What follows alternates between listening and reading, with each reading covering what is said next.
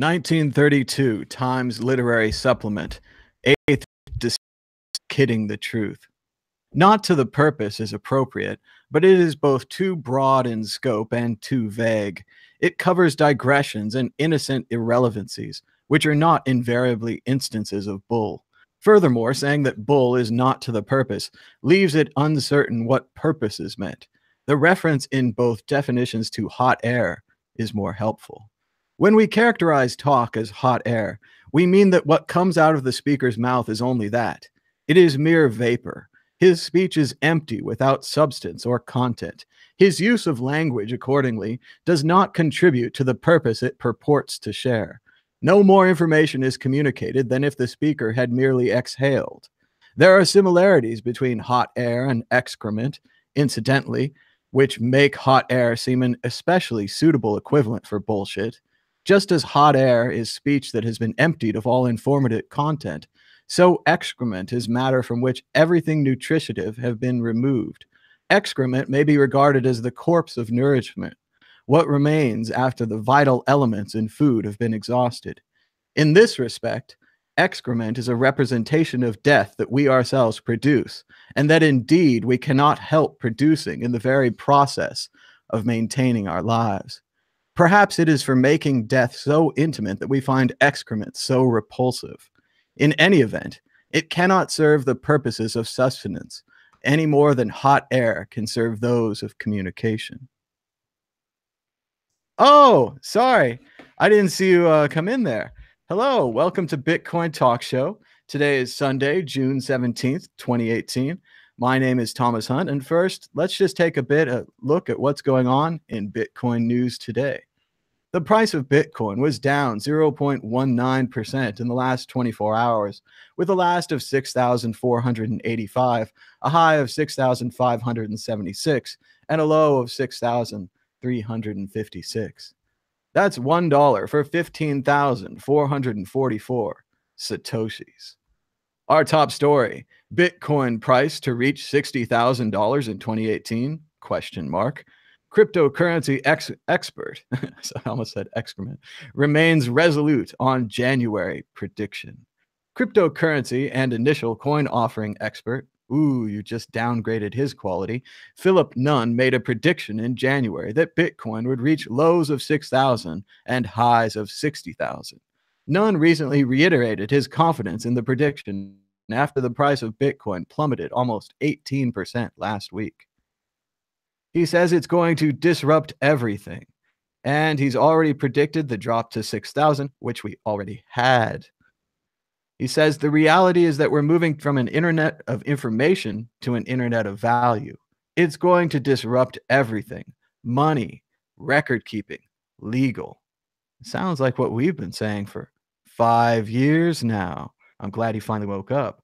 He says that his prediction was based on market volatility which we're experiencing at the moment. He thinks that's really apparent, and he absolutely stands by his prediction $60,000 a coin by the end of 2018. We'd have to see some serious price action to get there. Hang on to your hats.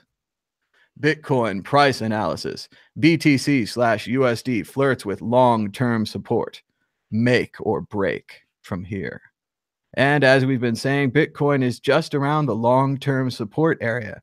That's a line that you get if you draw through all of the lows that we've ever had. And until previously, it always went up. There is some concern that we are breaking the long term support, as you can see right here on his chart. Low, low, low, low. That's an REM song. That's a great reference. Uh, but we have slightly dipped below the line. I don't know if that means we'll keep dipping or if we'll recover above the line, uh, but they are keeping an eye on these lines for us.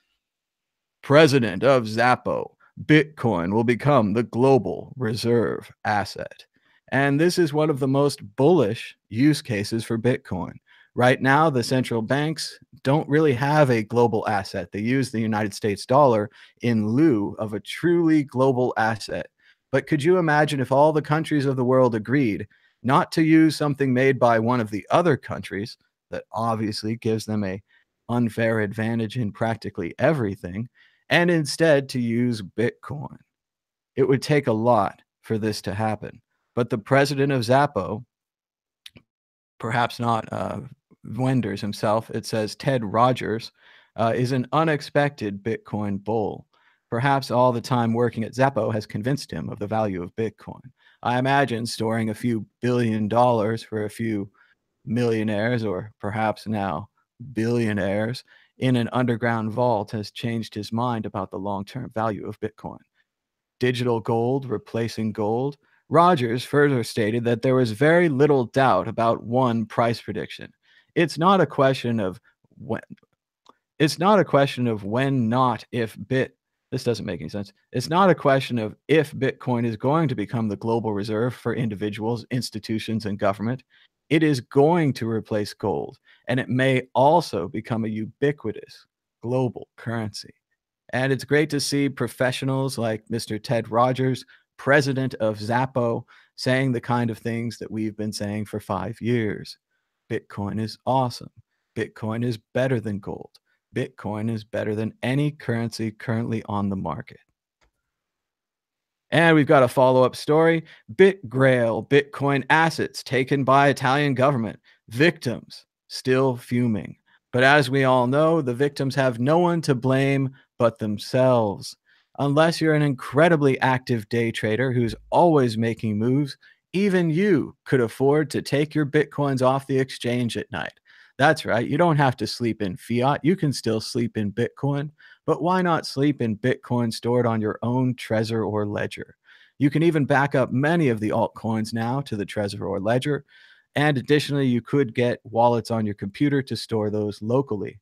If you store assets on an exchange, you're trusting the exchange. You're trusting the change, exchange not to be hacked from the outside, and you're also trusting the exchange not to be hacked from the inside. And there's only a million reasons why they'd hack you, and they're not all yours.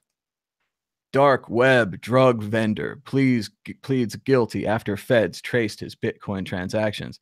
And this is the continuation to a sad and rather stupid story.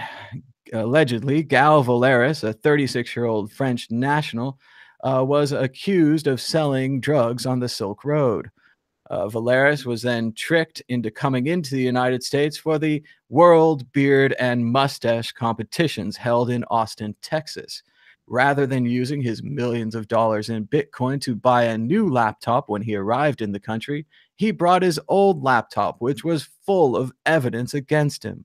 The evidence was seized when he entered the country, as was Mr. Gal Vallerius and his fantastic beard. Truly a tragedy, as instead of attending the Beard and Mustache Championships, he will be attending a completely different championships in prison, likely for the rest of his life.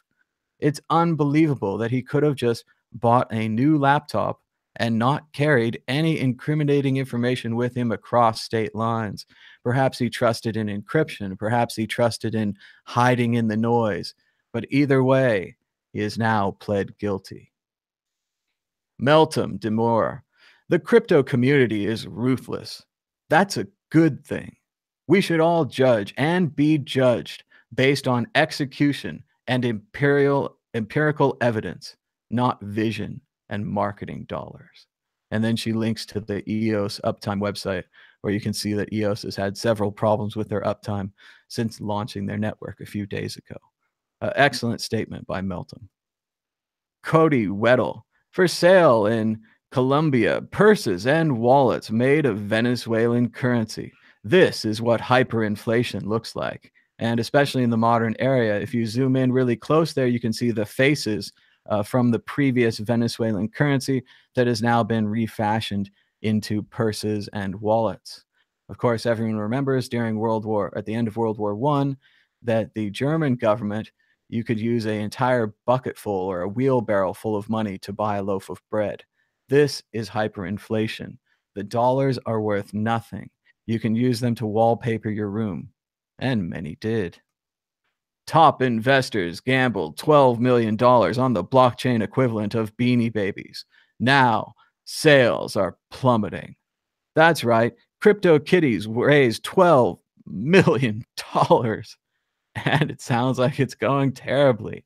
Uh, remember, despite uh, external signs, the Crypto CryptoKitties were not created by a clever algorithm. They were created by hand, and the randomness was probably just more of a fad and more of a temporary thing. Remember, people bought these kitties at hundreds, maybe even thousands of dollars with the idea that they were rare and unique.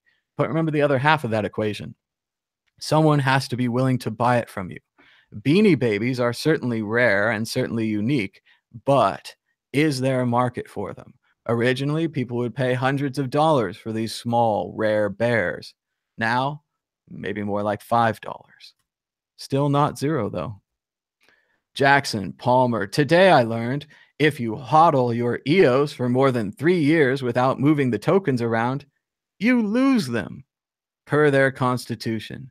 And that's a good reminder that not all copies of Bitcoin are created equal. We have a choice when it comes to which cryptocurrency you want to support. You could support Bitcoin with its locked in 21 million units.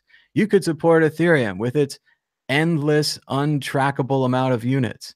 Ethereum can always print more because it's meant to be used for smart contracts. It's not really a, a uh, what's it called? A non-fiat currency. It's not really a um, I don't know. I'm sure you guys have the word, but um, it's not strong money. It's not hard money. It's inflationary, inflationary. And the same thing for EOS now. EOS claiming to take back your tokens if you don't move them around. Probably not a problem if you hold them in an exchange, but if you are holding them on a hardware or paper wallet for many years, not thinking about it, or perhaps handed them down in an inheritance or anything like that, EOS will take them from you. this is terrible. Uh, but once again, they make the rules. It's their cryptocurrency. They decide what they want to do. And obviously, they're going to make a lot of money. Dogecoin now has three times more transactions than Bcash. That's it. That's all I have to say about that. And just a reminder of the South Sea stock bubble. We talked about this a little bit yesterday, and I just wanted to mention it again today. Don't be like Isaac Newton. Uh, the story goes this is the very first bubble in a stock ever. They'd never seen this before. No one knew that this was even possible. Uh, but down here, Isaac Newton invests a bit. Right here, Newton exits happy. This is where he should have stayed. But then, bad news Newton's friends all got rich right here. So it goes up even more. Newton re enters with a lot. The market goes up and then begins to come down. Down here, Newton exits broke and he was broke for the rest of his life. And Isaac Newton, one of the smartest people that ever lived, couldn't understand this, couldn't do the stock trading thing, didn't have good timing, whatever it was, he couldn't do it. So don't feel bad if you can't time the market either, because neither could Isaac Newton. We've got one more story. Comcast Cast's offer to buy Fox out from under Disney has MCU fans freaking out about the X Men. And as the article says, fandom now requires taking sides in corporate mergers. And this is a wholly new story in corporate or business history, whatever you want to call it. I don't think I've ever seen this where a single property, such as the X Men movie franchise, would make people change their minds about such a large merger between Comcast and Disney, uh, ignoring the fact that both companies have millions or perhaps even billions of dollars. Uh, well, certainly billions if they're offering 65 billion for this. Uh, but despite the fact that they have billions of dollars right here, Mr. Uh, Milton Johnson says, Can we start a GoFundMe for Disney? I need the X Men in the MCU. Comcast, just just know that if you lose, that you lose if you win. so there it is. Uh, maybe even backdoor suggesting a boycott of Comcast uh, for buying uh, Fox to improve their company and uh, make their big uh, media monopoly even bigger. Uh, maybe Comcast could just sell the X Men back to Disney at an enormous price. but yeah, we're just tracking this story because I think it's fun. And the X Men are an important comic book series. I believe that. Uh, the price of Bitcoin currently 6,486. We did have that little run up to 6,716. We fell all the way to 6,343 before back rising to 6,486. Uh, we've not seen anything like the 7,600 that we fell from, uh, nor the 6,120 where we stopped. Uh, we do seem to be range bound right now. And if you'd like to donate some Bitcoin to this show, you can use the QR code on your screen right now to donate any amount 10 bucks, 20 bucks, a million bucks, whatever you got. And we'd like to thank our donor from yesterday, 0.00153 That's 10 bucks. Thanks so much for your support. Uh, we'd like to thank our Patreons. We have 19 patrons supporting the World Crypto Network at $78 a month and 83 patrons supporting Mad Bitcoins. That's me uh, at $449 a month. You can subscribe on Patreon for as much or as little as you'd like uh, five bucks a month, 10 bucks a month. Uh, think of it like a magazine subscription. Uh, you're just supporting the things that you enjoy. And uh, IBLB562 writes Do I have to drive to Vegas to get my copy of Para Satoshi Con Amor? And that was funny because yesterday I was joking with my brother about maybe translating the book into other languages. Uh, maybe like Andreas, I could put a copy online and people could translate it for fun. But uh, I really don't think it's it's a joke. I'm not saying my book's as important as Andreas's Mastering Bitcoin book, which is a serious textbook. Uh, but I just thought it was fun uh, that he wants to read my book, and I did. Uh, uh, show the cover or the uh, starter cover. I would like to do a cover with a pink alien in a trench coat. Um, I've looked at some covers of old 80s books like uh, My Teacher is an Alien, uh, kind of young adult stuff like that that I used to read when I was a kid. And uh, something like that would be fun, but I can't I can't really draw that well. Um, so I'm going with this simple Photoshop uh, for the first edition. But it's very possible, especially if I'm able to somehow I don't know sell it to a publisher or whatever. Maybe they could do a reprint uh, with a glossy, fun kind of Philip K. Dick 80s style cover Saved by the Bell uh, with a trench coat, pink alien on the front. Uh, but that would be fun. And I am looking to options uh, for an audiobook. A lot of people have requested this. Uh, they've said nice things about my voice. Uh, so, of course, I listen after you say a nice thing. And yeah, I would like to make an audiobook. my current goal, I'm doing readings on the show. but if I started doing the audiobook in sections, uh, again, it's it's difficult because I have to do it perfect, right? I have to, or nearly perfect. Uh, people are going to listen to it theoretically, uh, whereas the live ones here, I, I certainly screw up every once in a while, and, and nobody reads perfect. Um, maybe you know, Barbara Walters or Diane Sawyer or something like that, but um, I'm working on it. And uh, yeah, if I recorded it in sections, eventually, hopefully, I could get ahead of my readings here, and then I could just play you excerpts from the audiobook. How clever would that be? Uh, and I have looked, Amazon does have some kind of a publishing program called ACX uh, for authors to publish their audiobooks. Also, if you're an author, they have a great looking program called KDP, Kindle Direct Publishing. And that's currently where I'm working on uh, building both the Kindle and paperback versions of my uh, little book. And it's not the best book in the world, it's not Shakespeare. Uh, it's a short, fun story uh, that I wrote for National Novel Writing Month and uh, I don't know what else to do with it. I think it's kind of fun. And I read the a couple chapters here, and people seem to like it, like it's a, a story, and you know, not the best or worst, but just something fun. So I'm gonna go ahead and try to release it because uh, that'd be cool. And I'm gonna read a little bit more of it at the end of this show. Uh, but I want to go ahead and open up the phone lines, and I'm going to look at the chat and see what you guys are up to today. You can give us a call right now on Skype, World Crypto Network, all one word. I do usually have to add you first, but you can also just give it a try and call now. I know it's a little early on Sunday morning. Uh, might not be a lot of callers, but I want to try to do these every day. I want to try to get into a practice again of doing shows every day. And um, so here I am. um, and yeah, if, there, if there's no calls, I'll probably go towards the reading and towards the end of the show. Um, but let's see what's going on in the chat. Oh, looks like I only got some of the chat. Bitcoin Core developer says that he wallpapered his office with $100 bills. Nice. Very cool. Uh, One Man Army says that Whale Pool is watching. Uh, welcome to Whale Pool. That's a cool group. They've been doing uh, live chart chats and just talking about Bitcoin on, um, I don't know, TeamSpeak or some kind of those uh, video game type uh, communication systems for a long time a lot of big Bitcoin fans in there. Uh, although they're they're traders, uh, so they're looking for it to go up or down. They have their own opinions on that. uh, but I think it's fun. Rolf says, "Why do you use toilet paper as wallpaper?" uh, everyone has a negative opinion of fiat here. It's good to be with my people, and uh, they say, "Oh, did you lose your EOS?" Um, I didn't lose my EOS. Uh, but another interesting thing on EOS, besides this uh, three-year move it around thing, which there are arguments for. They're saying that you should use it, that you should be active in their community, you should be, I don't know, investing in things. Uh, I'm not 100% sure what EOS is really supposed to be used for. Um, but uh, no, I, I, didn't lose mine. I don't have any. Uh, there's another interesting story. EOS, like I said a few days ago, started off on the, well, actually, I'm not sure. I think it started off, uh, I'm confusing the two. It started off as an ERC20 token, and then they had this big event where they switched you over into an actual EOS token on their main net, right?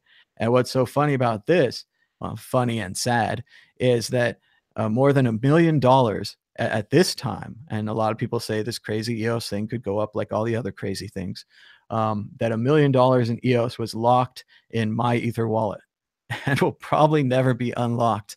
Uh, maybe if you hacked MyEtherWallet, although even then, I don't even think they have the keys uh, to those wallets. I think they're a lot more like blockchain.info, uh, where you have the keys and they hold the encrypted parts. Uh, so, yeah, a million dollars lost. Uh, if you have a million dollars in EOS and you're too lazy to move it out of MyEtherWallet and change it on the mainnet, you could always trade that for a million dollars in Bitcoin and donate to Mad Bitcoins. Just saying. Um, EOS Connect. That's funny. Uh, they say, what a terrible project. Uh, we're not sure about EOS. Once again, though, even if we're not sure, even if we're logically questioning this thing, that doesn't mean that it's not going to go up 10 times. A lot of the times I've been disagreeing with these things and uh, a lot of times uh, it goes crazy up. It might go crazy down at the end, uh, but if you sell while it's crazy up, if you realize your gains, uh, you have gains undeniably. Uh, they're talking that EOS controls all your keys. This shows that EOS has full control of your tokens or keys.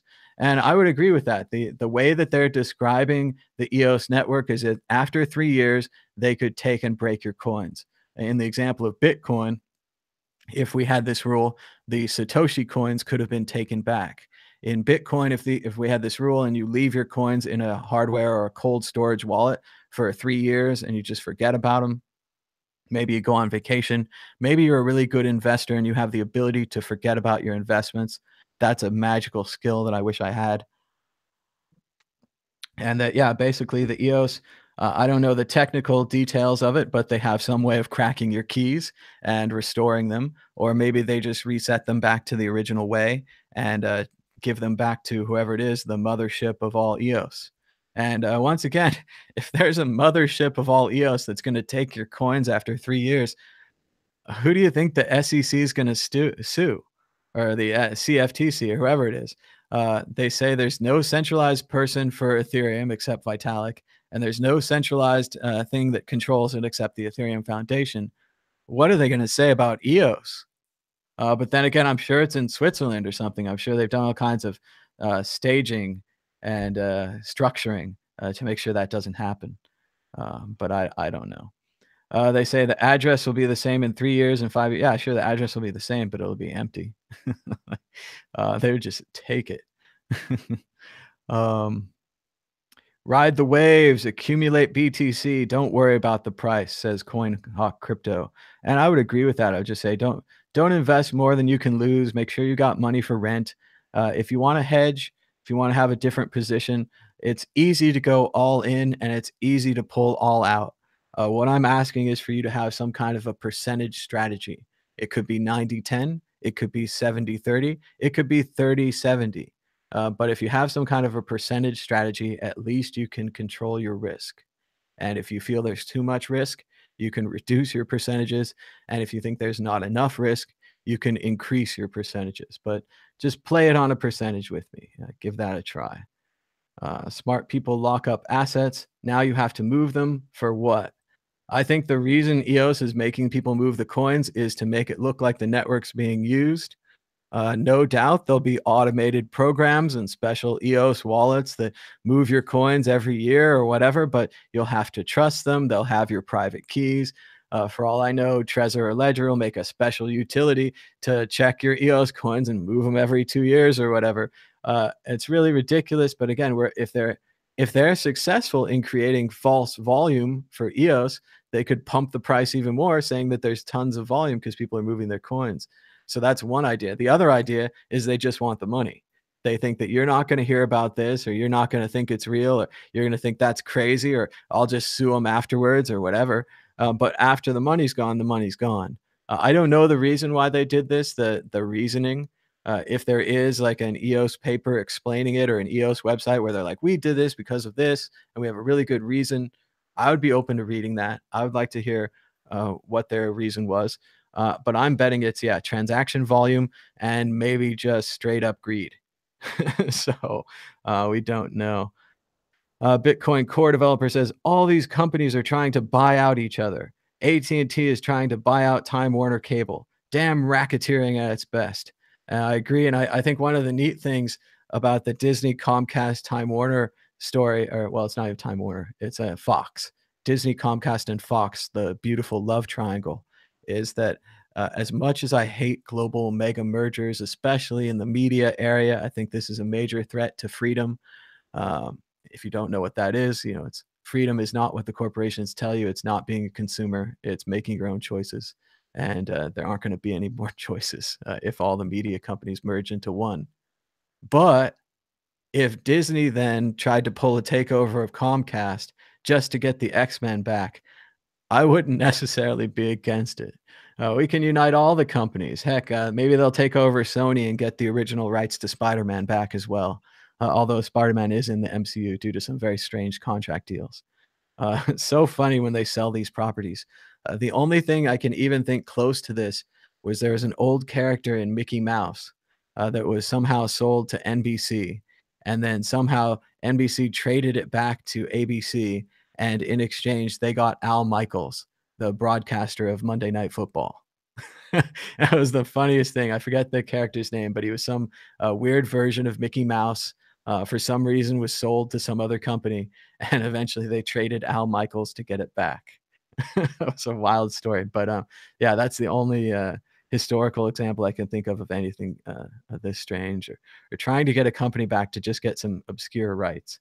And that's not the whole thing. Disney also wants to control Sky Sky, I don't know much about Sky. It's a big European news channel. Maybe it's a European cable system as well. But anyway, everyone wants access to the European market. That's why they're trying to take over Fox. Uh, there was a deal on the table where uh, Comcast might have gotten Sky and Disney would have gotten the X Men and the other movie contents uh, of Fox.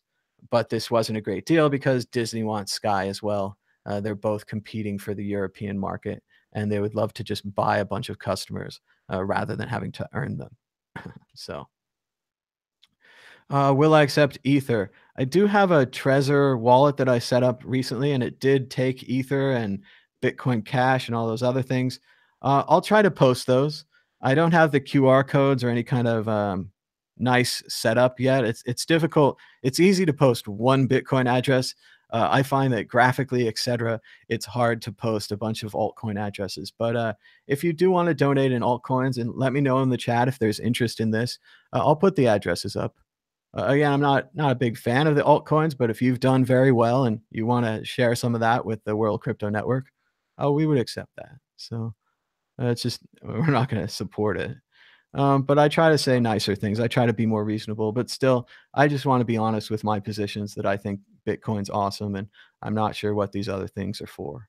So uh, they say in the chat, Andreas yesterday was epic. He knocked the ball out of the park. I'll have to check that out. I've seen a lot of great Andreas videos, uh, but I haven't watched that many lately. Uh, he does a great job, though. One of my favorites uh, recently, oh, not recently, but a few years ago, was um, Sewer Rat and Bubble Boy, and that Bitcoin is the sewer rat and it's down there in the sewers getting all the diseases, getting in fights. It's got cuts on its hands. You know, it's out there, you know, roughing it up. And then there's Bubble Boy. And Bubble Boy is all of these private blockchains. And they can't get out to the world because if your private blockchain full of medical data got out to the world, the whole world would have your medical data. unless it was encrypted, et cetera, et cetera. But uh, whereas Bitcoin is truly public, you can download all the code. If there's something wrong in the code, you can break it right there and you can have whatever the market cap is of Bitcoin, $100 billion. You can steal it all. Uh, it's the greatest bounty, the greatest hacker reward in history. Uh, if you hack Bitcoin, if you really break it. Um, but unfortunately, or, or fortunately, no one has. No one has broken it. I don't even know if they can. Uh, but yeah, definitely check out Andreas on uh, YouTube and Twitter. Uh, they say he's at the Panama conference. Very cool. Um, they like the audio book. Uh, they need more USD to grow more BTC. Uh, that's true both for CoinHawk crypto and for the whole market. Uh, we really do need more people to invest in Bitcoin. it feels like part of the reason that we're having the downtrend, not just because of the incredible rise to 20K, uh, which is just more of a reaction to that. Another part is that I think buying has slowed, interest has slowed. I can tell you uh, views and subscriptions, uh, Google searches are all down. All of the indicators of new people getting into Bitcoin are down. And I do think we had a lot of new people in December, January, and they all wanted to get rich quick. And the ones that figured out how to invest in Bitcoin are now uh, hopefully holding some heavy bags or maybe they made some percentage sells on the way down. Uh, but anyway, I don't think anyone got rich quick. so uh, that that hurts the uh, the marketing message of get rich quick. We still do have things like uh, the interesting report we did on the Adam Meister show the other day, where we talked to a gentleman from Argentina, and he said in Argentina they are way into Bitcoin and they don't like their local economy and they'd much rather save their money in Bitcoin. And uh, that is uh, that's bullish. Uh, but remember, these are still relatively small countries and, quite frankly, relatively poor countries. They don't have enough money to buy enough Bitcoin to drive the market up. Uh, maybe if we had 10 Argentinas or 20 Argentinas, uh, which again might be possible in the future. It's the kind of thing Bitcoin uh, is still in its heart kind of a virus, right? It gets into your society, and pretty soon everyone's using Bitcoin.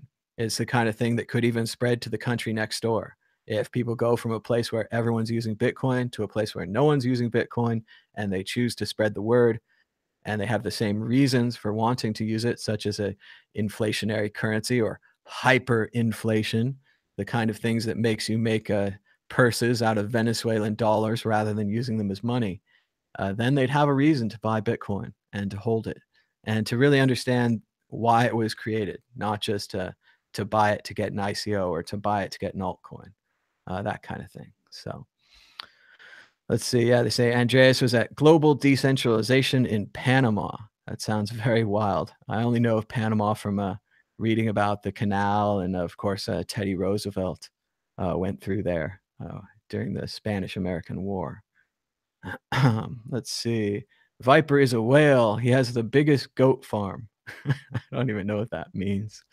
Um, Whale Pool would donate big time to WCN, but we're all wrecked trading. And see, that's I, what I, I mean. It's a bummer that you're wrecked. Uh, point of control. That's no good. But uh, I appreciate that you uh, tell people that you're wrecked. I think it's important to tell people when you're up and to tell people when you're down. Uh, a lot of the great uh, trading people tell you how much money they've made, and then a lot of people uh, don't tell you that they've lost money. And it creates kind of this expression that you feel bad where everyone's making money but me. Everyone's a million dollars but me.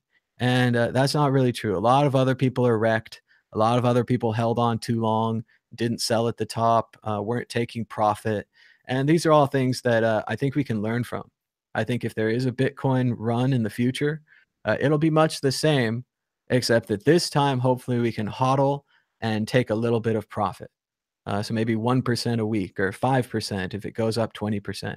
Uh, things like this. And uh, no one's prepared for this mentally. The stock market, if you hold Apple all year and it goes up 5%, you had a banner year. It was incredible.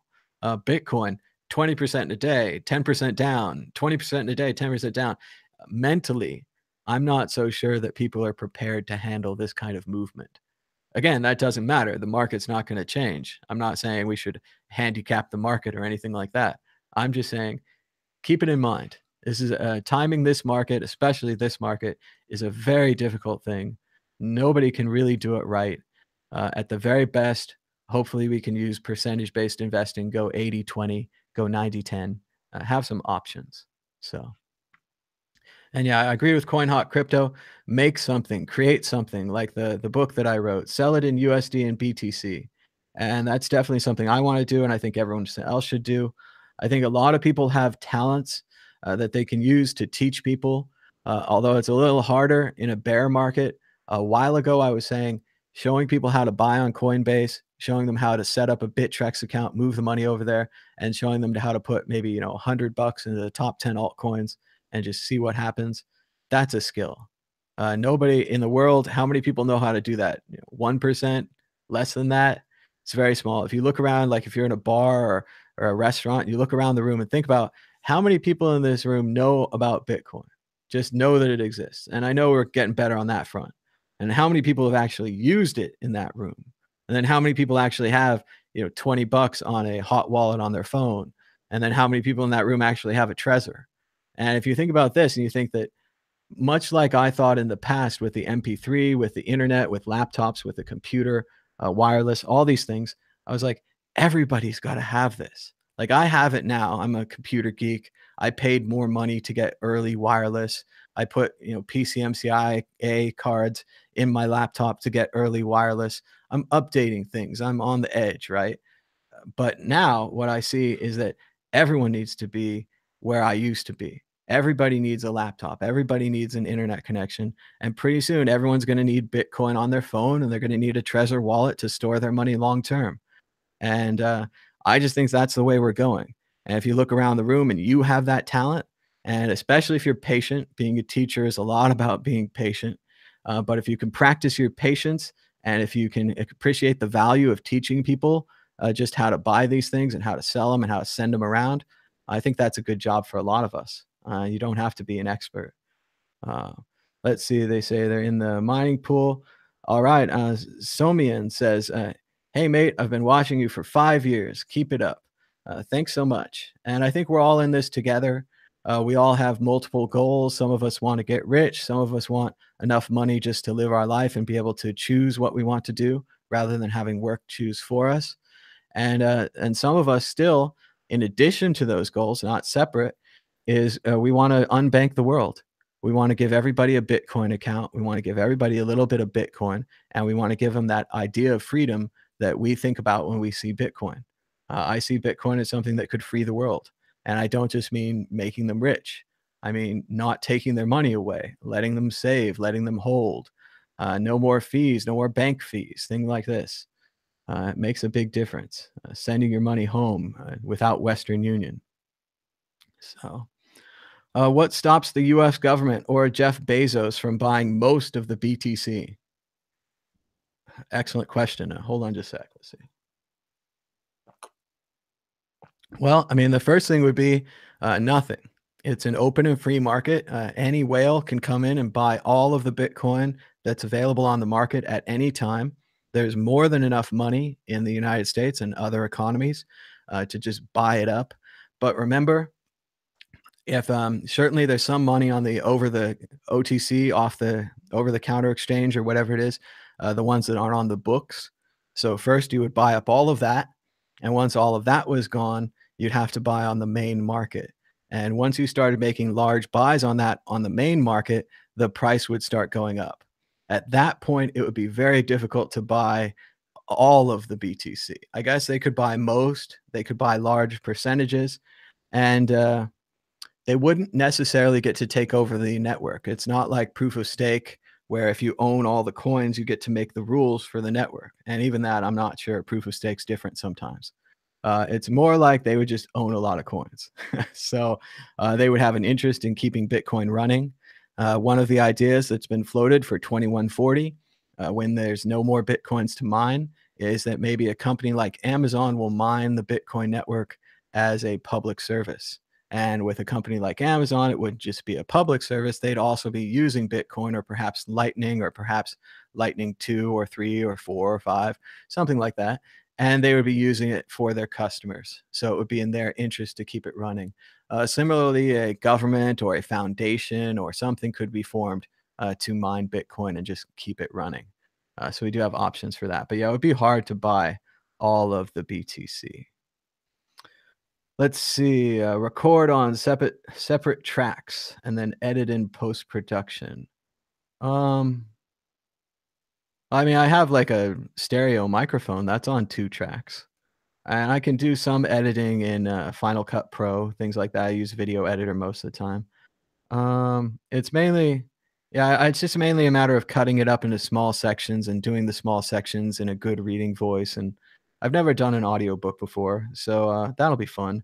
I also have kind of an idea now that maybe if I do the audiobook before I launch the Kindle and the paperback, I'll be able to fix more mistakes in the book because I have to read it out loud that's one of my writing tricks, by the way. And I, it's not just mine. I was taught it and I teach everyone that I talk to about it. But uh, if you're writing a paper for class or even a letter to a friend or an important letter for your business, read it out loud. Read it out loud. The parts that you uh, have trouble uh, speaking through, the parts that are tough to read, take those parts out, edit it. Uh, reading aloud is my magic trick for all my writing. Uh, when I used to do the Mad Bitcoin scripts, I would have a, a series. I would I would write it, then I would read it out loud and fix all the things that I stumbled on, and then I would read it out loud for the camera. So I had a, a series and a process. Uh, but we've had a good time hanging with the chat. Looks like we might have some phone calls coming in. Uh, let me go ahead and make sure that we're unmuted. We are. And uh, I'm accepting a couple more guys here. There are two of you. Uh, so now it's a race. Uh, whoever would like to call us back on World Crypto Network on Skype, all one word, uh, we'll have you call as a caller, and then a second caller, uh, we'll have you next. Uh, but go ahead and give us a call right now. Hello, caller. You're live on the World Crypto Network. What's your name and where are you calling from? Um, Nicholas from Portland. All right, Nicholas. Uh, what's going on for you today in Bitcoin? What are your thoughts today? Um, um, what's your idea on the hyper Bitcoinization of of Bitcoin itself? Do you think will eventually arrive to some time where you know there's going to be this mad rush into cryptocurrency, or do you think we're kind of a ways from that point? I I think um, well, first the the idea of hyper Bitcoinization, and uh, I used to call it total Bitcoin adoption, uh, but just in general uh, to me and to a lot of the other uh, people that they'll probably call Bitcoin maximalists, uh, there's this point in my mind where Bitcoin goes into the S curve, and the S curve points straight up, right? So we're going along parabolic, blah blah blah. Then all of a sudden we start going straight up because people are just getting in. the The virus is out. Everybody's talking about it. Uh, it's like emails, like you can't you can't avoid it anymore. I tried yeah. not to do it and avoided it. So it goes crazy up. Bitcoin's going up 100% a day. And you're looking at your bag of altcoins and you're like, 5%, 10%, I want 100%. And at this point, at least in my mind, uh, even the, the hardest core altcoin supporter gives up and buys Bitcoin. And this drives the price up even more. And then the price just keeps going up. So I do believe that will happen.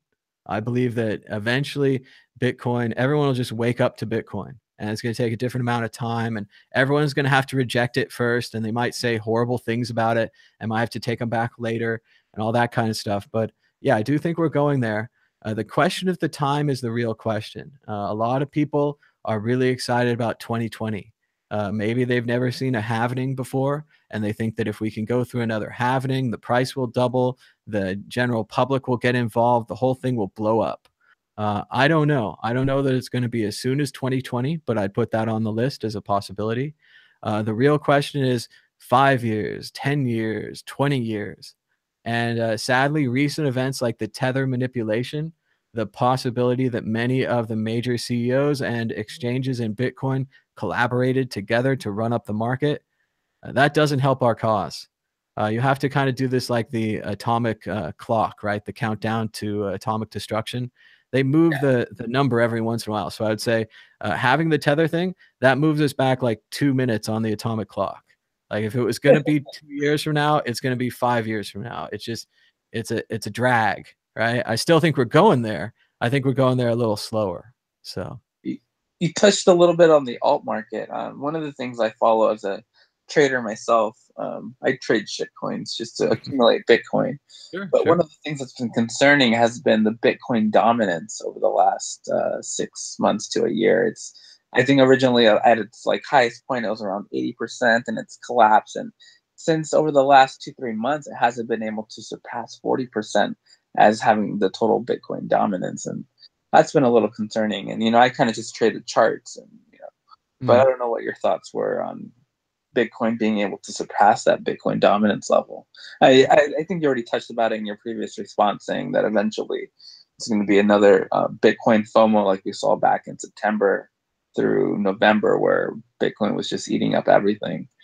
Um, also, I, I think uh, Bitcoin dominance is a really tough number for Bitcoin to defend. All right. Essentially, what we're saying is this uh, unadvertised project with no CEO is competing against all these incredibly well funded startups with full marketing and full CEOs and full uh, and engineering teams, uh, the whole thing. Uh, so, do I think that a flashy, attractive, sexy project with a lot of cool people working on it is going to take, you know, 5% of Bitcoin away? I think so. Uh, do I think Bitcoin will get it back in the long run? Maybe their project doesn't work. Maybe they overpromised and underdelivered. Yeah, yeah, I think we'll get it back in the long run. But uh, I can't stop, uh, Bitcoin itself can't stop any of these flashy things uh, from taking away some of that percentage. So uh, that's that's the way I understand that number. But that's very cool. Yeah, I don't think I had anything else. I just wanted to call in and say hello and thank you for uh, indulging in some of my inquiries. Well, well, good stuff, Nick. Thanks so much for the call, and uh, give us a call anytime. All right, sounds good. Thank you. Bye bye. Thanks so much. Yeah, a lot of people have uh, you know questions like this, and uh, feel free to answer them or ask them. Uh, sometimes I might not know the answer. You might not find my answer satisfying, uh, but it's important to ask these questions. And let's just get this out there. And uh, if, there we go, another caller. Hello, caller. You're live on the World Crypto Network. What's your name and where are you calling from? Hi, uh, it's Bitcoin Viper. Let me just mute the YouTube stream for a sec. Sure. Hey, yeah, um, Bitcoin Viper here from the uh, the Whalepool team speak down under in Australia. How you going? Doing good. Uh, welcome aboard. Uh, thanks for joining us. Hey, thanks for having me. Look, I was actually just listening to your conversation about the um, about the Bitcoin dominance, and I personally think that um, we should be looking at um, you know creating like a top 10 and leaving the dominance there because every new coin that joins we're getting hundreds of new coins every couple of weeks it feels. And those coins even um, if they don't if one coin sells a dollar worth of its you know tokens and there's mm-hmm. 100 million tokens it has a market cap of 100 million dollars even though only one dollar has moved into that token's ecosystem. So bitcoin dominance will continue to fall just based on that with every new the, new coin that comes in so i feel that maybe we should be looking at maybe you know a top 20 coins and we'll peg the bitcoin dominance just to that much like they do on you know stock indexes and this this has a little to do with the idea of coin market cap, doesn't it? Everyone looks at the market cap of these coins, but maybe that's not the best indicator. Exactly. Yeah, I, I think um, yeah, just to, to look at maybe an index with you know the top 50 coins, and we just look at the Bitcoin dominance just based on that, and we just ignore all these new coins coming in because they're just diluting the dominance um, with with no money that's real, no actual money that's gone into their ecosystems. That's my. Uh, now, now, the the chart that I enjoyed that came out maybe a couple of weeks ago, it showed all of the old altcoins from like four years ago. Then it showed their percentage against Bitcoin, and even Litecoin, it had incredible losses against Bitcoin over a long enough timeline, over four or five years. And they had other things like Terra Coin and Prime Coin and Megacoin and Incredible, incredible losses, horrible loss. And you wonder why, you know, people are critical of the altcoin markets. A lot of us have seen these things go up and go down before. Uh, so it's interesting yeah, to have, have that kind of memory. Yeah. Look, yeah, I mean, I've been around in the crypto space for about five years now, and we've seen, I mean, as of you, obviously, a long time, and mm-hmm. and we've seen coins come and go. Um, and I think just like the guy that was here earlier, I mean, they're really just using trading shit coins just to accumulate more Bitcoin. My my sort of opinion on that is just buy more Bitcoin, just keep buying Bitcoin, um, and don't gamble it. I, I think that you know we could see in the next sort of five years, you know, hundred thousand dollar Bitcoin, two hundred thousand dollar Bitcoin, and is it really worth the risk of of gambling something that could be such, you know, that could be worth so much money, um, trying to accumulate more when, you know, if if if it does actually end up being worth that amount, um, you're never going to have to work again anyway. And what you have now will probably be enough to get you through, um, get you through. You know. Yeah, that's the real question, isn't it? Everyone wants the next Bitcoin, the new Bitcoin, the one they can get in early on. And sometimes that works and sometimes it doesn't work. Uh, I think it's very difficult for people to just buy the old Bitcoin. Uh, they see the incredible cost of it. They see how little they're getting in, uh, you know, decimals, and um, it's tough on them, especially when you go to Coinbase, right? Um, excuse me. If you go to um, Coinbase and they offer you I don't know now, four, maybe five different random altcoins. And uh, last time I was there, they just had the logos and the names. I don't even think they had a paragraph explaining that, like, this is a smart contracts platform or uh, this is uh, whatever the hell Ethereum Classic is, or, you know, those kind of things. Uh, you're just choosing randomly. And a lot of people choose on the price. They're like, well, a Litecoin was the cheapest, so I bought that. And sometimes it works, they make money, and sometimes it doesn't work. I think the saddest one is when people go in and they want to get Bitcoin and then they come out with Bitcoin Cash because it was cheaper. And say what you will about the project, but when you confuse the names like that, that's what you get. And then people send it to the wrong type of address and it gets lost. And it's just a disaster. So Absolutely. I mean, people do have this real unit bias when it comes to these coins, and I think the one thing that I try and explain to you know to noobs when I'm talking about it, um, when they go, "Oh, just it's so expensive," I just say, "Look, there's only ever going to be 21 million of them created. There's mm-hmm. 33 million millionaires in America, which means if every millionaire in America wanted to own a Bitcoin, there's simply not enough to go around. It's such a scarce resource um, and I don't believe it's expensive at all. I, I personally think it's cheap. When you look at Apple with their $300 billion in the bank account, um, could buy every single Bitcoin in existence twice over. Um, it's it's cheap, you know. I think I think it's cheap, and I think it's got um, it, yeah, it's got a long way to go. But obviously, we all we all think that, otherwise, we wouldn't be here. That would be pretty cool if Apple bought every Bitcoin available.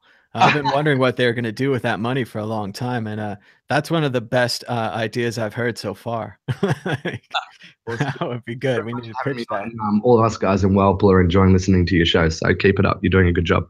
Well, thanks so much. Uh, I appreciate you guys joining us uh, from Whalepool, and uh, we're trying to do these shows more often. And the idea being that uh, we just talk straight to the audience, and it's kind of like the callers are the gold here, and we're panning for the gold and uh, a lot of good callers out there. And it's, it's just so fun because people are all over the world. I've talked to people in Turkey and Ireland and uh, Canada and just everywhere. And it's so amazing uh, that people could listen to my little show on YouTube uh, all over the world. Because uh, certainly I don't promote it in Turkey or anything like that, um, but I, I, appreciate them listening. Cool. Well, thanks again for having me on. Thanks so much for the call. Give us a call anytime. We'll do. Bye bye. And you can give us a call now on Skype at World Crypto Network, all one word. Uh, it's 8.53. We have a little bit of time left till 9 a.m. We'll try to keep the show going till then uh, if we have calls and topics to talk about. Uh, we have 300 live viewers. Thanks so much for giving us a thumbs up and a share. Uh, that really helps people find the show. And if you haven't subscribed, please subscribe down below. We have about 70, 75% of people subscribe to our shows, and subscribing just helps you find out if we do new show new shows in the future and you can check them out. Also they have a little bell next to the subscription button. If you click that it will notify you when we go live. And sometimes that doesn't really work. And if you really want the notifications follow at mad bitcoins or at world crypto network on twitter. Uh, there's a lot of crypto stuff happening on twitter these days i've been there a long time i like twitter I still think of it as a short message service, even though they doubled the size of the messages. Um, but uh, it's still fun. I have a good time on Twitter. Uh, so join us on Twitter if you're not there already. Uh, the price of Bitcoin is six thousand five hundred eleven dollars. Hello, caller. You're live on the World Crypto Network. What's your name and where are you calling from? Oh, hey, can you hear me? Yep, sounds good. Cool. Yeah, I was. Oh, oh, I gotta mute the uh, YouTube. Definitely. Uh, I'd rather not share that info. I just fine, man. Ask a question about what your thoughts were on the connections between Circle and Monero and Bitmain. Hmm. I think it's uh, I don't know. I think about that a lot, and it sound there's something uh, sketchy about it. Well, um, I'll, I'll tell you. I mean, I don't really know anything, but uh, maybe you can tell me more. The main thing I've heard is uh, uh, linking those partners together is that Bitmain had made a copy of Monero and that they were going to mine it with their ASICs, and that Bitmain had also made special Monero ASICs, but then the Monero developers changed the way that Monero worked so it wouldn't work with their ASICs. Uh, so in that way, I do see a lot of competition and I think it was an especially bold move by the Monero developers to make their coin, at least for now, ASIC proof. And then if they're willing to change it again in the future, uh, I think that's a strong stance. I'm interested in that. But what about Circle? How does that tie in? Right. So at more or less the same time as those uh, forks were going on, where uh, the Monero team uh, changed the algo so that the ASICs couldn't uh, work properly, Mm-hmm. Uh, and so Monero basically, you know, they they spun off all this classic, original, blah blah blah blah nonsense. Is pretty mm-hmm. much like the same scam they were up to with this Bcash thing. And I, I think we're going to see a lot more of that too. I think there's going to be a Litecoin classic and a Ethereum classic. There already is, and uh, all these things. I really think, from a mining perspective, uh, I hate to, you know, I'm going to reference Silicon Valley again, but why not just make a copy of everything? Uh, you're in China, do what you want, right? yeah, but they're they're trying to saturate things and you know just try to co-opt the brand. Mm-hmm, but um, also, it was interesting that around the same time you heard about this news of Bitmain investing in Circle, and that um, oh, that that uh, and Circle is going to offer Monero on their platform. So that just seems like super weird. Yeah, I mean part of the part of the thing is that I know at least from the articles I've read that Bitmain has 4 billion dollars in profits. Uh, so for me at a very, you know, base level I say, well, Bitmain's going to invest in everything. Uh, whether I like Bitmain or not, uh, I, I if I had that that kind of money, I would have to invest in almost everything right? I mean, you want to have a, a little bit of exposure to any kind of company or any kind of crypto you could get in. And Circle, Goldman Sachs, this is going to be a very, very big project in crypto. So I'm not surprised to see Bitmain in there. Uh, it is interesting to see if they are mining Monero. Uh, what I would keep an eye out for is if they're going to offer this uh, Monero Classic or whatever it's called. Uh, that's that's where I would get more conspiratorial. Uh, and then it gets even worse if they're going to offer Monero Classic but not Monero. Uh, something like that would be really bad. Uh, but again, it would be their market. They would be making the choice not to make money or to make money, and they're, they're a private company, and there's there's not much we could do to them other than uh, shake our fist and complain. You know. Uh, it was my understanding that Circle was going to be offering this the straight up Monero, and that uh, probably Bitmain is going to shill all those shit forks in their market. But I don't know. I'm just speculating but it was also interesting that you know Jihan Wu and Circle were sort of making that announcement about the investment at Consensus, mm-hmm. and also that was where they announced they're going to develop that the stable coin. What are they going to call it? USD coin or something like that. Yep, USDC. Sort of like the tether equivalent. So I just if you guys if you had opinions on stable coins and tether and some of the tether issues and that whole realm of stuff, I'd be interested in hearing what you guys think. Sure. Uh, I'll recap the the tether scene a little bit. Uh, mainly, I was against tether when it came out. Uh, for me, it always looked like something that would be linked to a bank account, and I would have to trust that you had the bank account, and then I would have to trust that the bank account didn't get seized. Uh, so compared to Bitcoin, where I don't have to make any of those trust uh, choices, uh, I was very much in favor of Bitcoin. Uh, but I couldn't stop Tether, and no one could stop Tether. They had a lot of money and they built a big thing. Uh, I am concerned about the Tether uh, Bitfinex manipulation story. I don't think that it's over. I think that that's bullshit, man. Come on. Yeah, I uh, there's a 66 page paper on the University of Texas tracking the movement on the blockchain. Dude, dude, some oh, article, dude. Yeah. I write an article with a title, and that means I it what I said is true. I mean, it's, it's not an article though; it's a research paper. Like you yeah, read the research paper, and then you say, "Did they fake all this evidence?" That seems like a lot of work, faking all this evidence and faking this research paper. I, and then when you put into the other side of it, that crazy. Yeah, I'm not saying that what they wrote in the research paper isn't accurate. I'm saying that the conclusions that they drew from it weren't necessarily accurate. Okay, so what are the conclusions? Tether just accidentally manipulated the market. No, it didn't manipulate the market. It had it had to do with the arbitrage in markets during the run up. You know, Okay. people were arbitraging legit. Sure. Bitfinex and uh, the Korean exchanges and GDAX. And why do you think the network got so clogged up? Because people were arbitraging the spread between the you know the kimchi premium, etc. hmm Well, I take that as an alternate point of view. I'm open to that. Uh, for me, though, it really just tied it up. It made sense that the 20,000 run would be speculative, especially when I read that second article about the crypto cartel, uh, which I take with a grain of salt. But also, if you think about all these guys, they don't like governments, they don't like regulations, they don't like following rules. And at the same time, they like Bitcoin and they have a lot. Uh, so they have a lot of reason to drive up the price.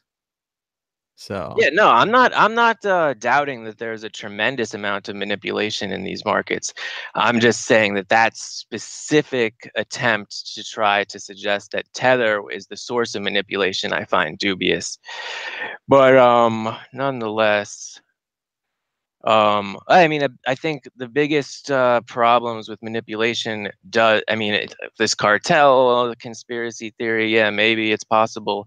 But at the end of the day, the issue is that the concentration of Bitcoin, you know, in terms of the number of wallet, you know, I mean, it's you can't really say for sure, but everyone knows that the biggest whales have just like a ridiculous amount of Bitcoin, and that makes it easy to manipulate the markets. Definitely. And that's especially true for the smaller altcoin markets.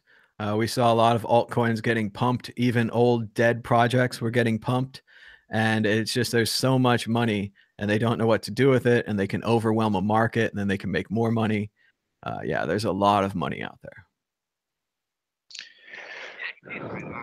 All right, cool, man. So uh, thanks for answering some of my questions and uh, appreciate it Definitely. Thanks for the call and uh, give us a call anytime. for sure. And I just want to say I really appreciate the caller for sharing his uh, alternative view of the tether thing. I don't know everything that's happening. I don't know that that article is true or that research paper is true, and I appreciate other points of view. Uh, if there is an other point of view that I think makes more sense uh, than my current point of view, I will consider switching to that point of view. Uh, so that's why I think sharing information is so important, and that we all have different opinions and we all have different backgrounds, and we can bring this together to analyze the information together. Uh, so I think that's really good when we can do that. Uh, let's check in with the chat again. They're talking. Let's see. Record separate tracks. EOS. Uh, feels like we're going to the moon soon. Maybe on one of those Virgin flights. At least you could get to space. I wonder whatever happened. Uh, I don't know if you guys remember, but years ago, uh, a flight attendant for Virgin Atlantic uh, had a bunch of Bitcoin. Some uh, uh, passenger had told him about it, and he did the good thing. He bought in, he put a grand in or whatever, and then he had you know tons of money, and he gave it to the Virgin guy. I forget his name, Richard Branson, and he gave it to Richard Branson for one of those rides into space. And everybody was always like, "Oh, you could have held it, and you'd have Bitcoin, and maybe you could get two or three space rides." And and, and maybe he could have. Uh, but what I think is sad right now is that guy gave up his Bitcoin years ago, and uh, Branson still hasn't given him a ride in space. What if the guy passed or something? What if his airplane went down? I don't know. Uh, funny story though. I, would love to hear an update on the the Virgin uh, Virgin Atlantic uh, stewardess who was going to fly into space. That's a cool story. Uh, they say you will not lose your EOS in three years. This is total FUD. EOS domain names can be lost after three years of inactivities, not your tokens. Okay, so Mughat is disagreeing with Jackson Palmer here. Uh, I did get that information from Jackson. I don't have a second source. And he is saying that it's the EOS domain names that can be claimed. Uh, personally, I, I, don't know that much about EOS or the domain names. So I assume you buy those with EOS tokens. Maybe you invest your tokens in there. I don't know. Maybe it's similar to what Jackson said, or maybe he's uh, slightly off. Uh, but thanks, Mughat, for more information on EOS. Uh, wish I could travel back in time and, and put that over the other one or something uh, so that you would know. But um, I do think it's interesting. So we're checking out the chat. Uh, Apple should buy and hold. Hodl. there we go, Apple. Uh, people want to see a huge purge to drop the uh, the altcoins, then to the moon. And uh, yeah, I mean, if that's if that's what works, I mean, sadly, I've seen these altcoins go down before and then bounce right back up. Uh, uh, some of them, some of them go down and die. Some of them go down and bounce back up. Uh, so I don't know about that, but uh, that's great. Zach says the thing I like best about YouTube crypto is you can take a few months off and not watch any videos, and then come back and nothing is new, and everyone just says the same stuff. That is pretty funny. I was thinking about uh, it wasn't too long ago we were at six thousand, and we were totally thrilled about it. We were like, "Oh my gosh, Bitcoin's at six thousand. It was at twelve hundred for so long. Uh, even I gave up, sold some at twelve hundred. Oh, six thousand, so nice." And and then now it's you know we're down to 6000 so everybody's like oh i'm so sad it's 6000 oh it's so bad. It's still still six times up from the 1200 pretty much. So uh, what should you talk about if you call? You could talk about anything you want. Uh, we have the phone lines are open right now on skype world crypto network all one word. Uh, we had a couple of calls this morning. And again if you don't i just ask you uh, what's your name and where you're calling from because it's a nice way to do a talk show uh, if you want to say I'm John from New York City, uh, I'm not going to check uh, that your name is John and that you're from New York City. Uh, FYI, though, on Skype it does show me whatever you choose to be your display name.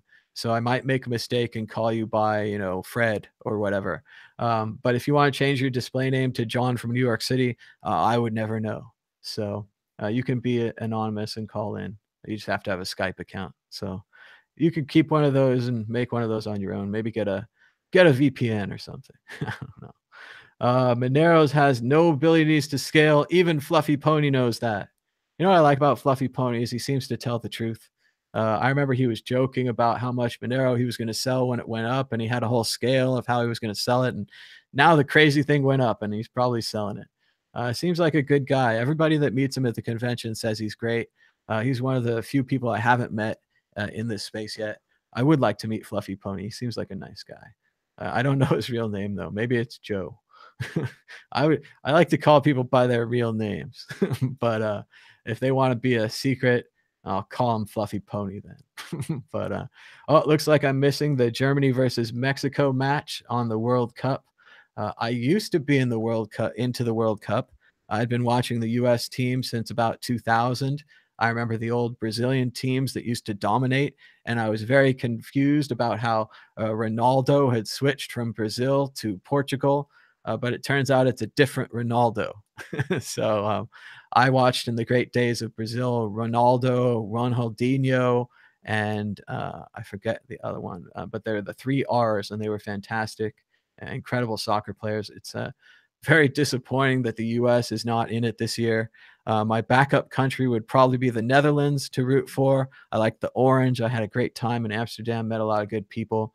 Uh, Netherlands also not in it. so I'm, I'm back to pretty much rooting for Germany. Uh, some of my ancestors are there from there. Some of my ancestors are from Portugal. Um, Portugal's also doing really well. Ronaldo got a hat trick, three goals all on his own. Uh, but you guys probably don't want to talk about soccer, but it is a big deal. The World Cup. A lot of people are excited about the future. They're excited about soccer. They just love it. Uh, they want to see me do an interview with Jimmy Song. That sounds good. I haven't talked to Jimmy in a while. Uh, a few years ago, I did a great interview with Jimmy about Bitcoin scaling. You can check that out on the Mad Bitcoins channel. I did a whole series of interviews that week with uh, a lot of uh, notable people in Bitcoin, and uh, we were basically trying to stop the fork. Uh, we were saying, can't we come together? Can't we have some kind of agreement? Can't we have a unified Bitcoin? And uh, as it was, we kind of stopped the fork, but then Bitmain got the fork ready to go anyway, and someone decided to go with the fork, and then we had the fork anyway, and now we have Bcash and all this nonsense. But uh, it was a very cool series of interviews, and I think you should check it out. I, I interviewed Roger Ver, Eric Lombrozo, Jimmy Song, uh, a lot of great people on the show. Uh, let's see. There's some people being critical of tone in the chat. Uh, I'm just going to let that go, um, but you're welcome to say whatever you want. It's a free country. And uh, let's see. I'm sure 100% it's the 1% who are manipulating the market. Tether thing is BS. I don't trust their media sources, all a bunch of lies. So there's her opinion there. Dino Rex Gaming HD, very cool. Uh, EOS is a meme. SEC is going to eat EOS for lunch. And remember, John Oliver famously came out against EOS on his show uh, last week tonight, and he talked a lot. He showed a lot of pictures of Brock Pierce, uh, who used to be uh, largely associated with EOS. He's dialed that back a bit. And it was funny to me because all the things that uh, John Oliver said about EOS, I said about Ethereum when it came out.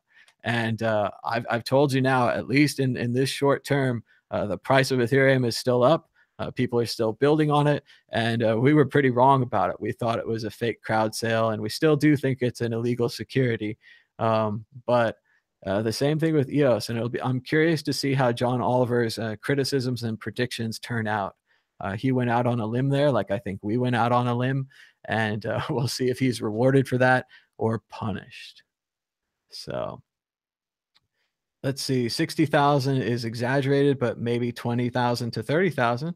That's all right. Uh, I do like that that guy is uh, sticking with his huge prediction. Uh, that's uh, that's ballsy. uh, I don't know if he's right or not. I don't know if he has good information to uh, justify sticking with his position. But I like that he's doing it. But then again, you know, I'm just bullish about Bitcoin. I just like Bitcoin. But I'm a lot more long term these days. Coin Junkie's real name is Bruce. Bruce Wayne. uh, people are talking about crystal ball predictions. And remember, uh, what it is about these charts, and I think about this whenever I play fantasy baseball or fantasy football, they're only showing me the performance in the past. A player hit 50 home runs over the first half of the season, uh, but he hits 10 in the second half.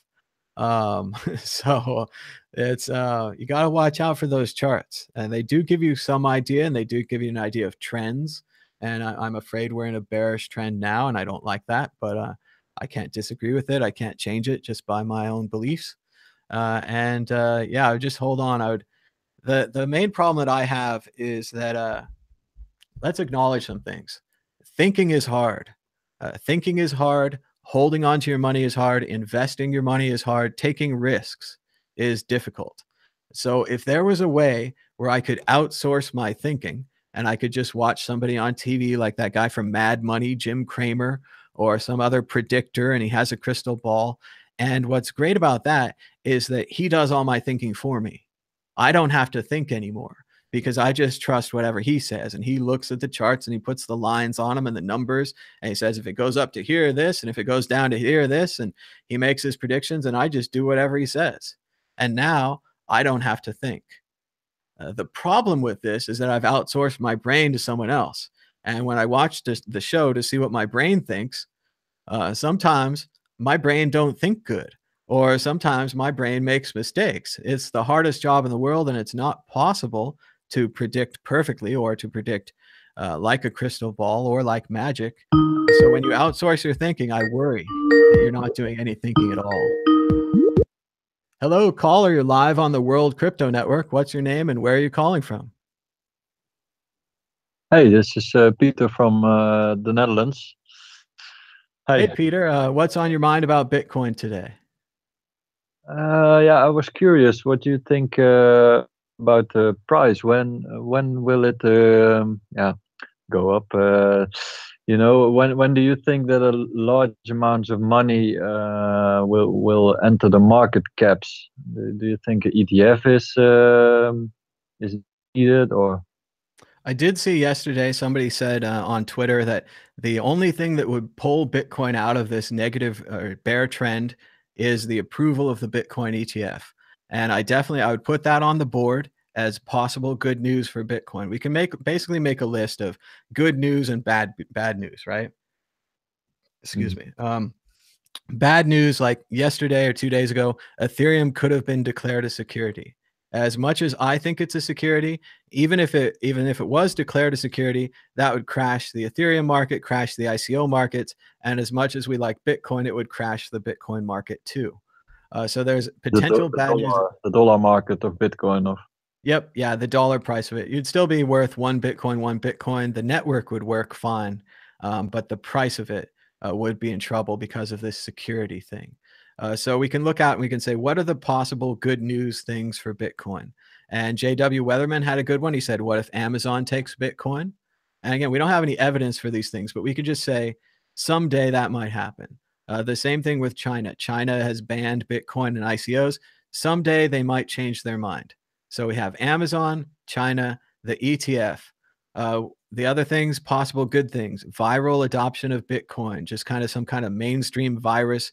Normal people just start getting into it. Everybody wants it. Everybody at your office is installing wallets on their phone and trading around $5 for lunch, and it just takes off, right? So we have adoption. Um, other than that, I don't know. We have to continue brainstorming of other good news things. Uh, as far as the chart, uh, sadly, I've I've become into the chart watchers where they're saying things like it has to stay over this number, and if it goes over that number, uh, so we need a big turnaround uh, to break this thing. We need to go to like back to seven or eight thousand pretty quickly, and then stay there, and then go up higher, and those kinds of things. Uh, so to do that, we need either a very large event, uh, or maybe something like institutional money buying in, or a Goldman Sachs buying in, or some kind of exchange buying in, some kind of stock market thing uh, somebody needs to buy more Bitcoin than they're currently buying uh, for some reason to turn the market around.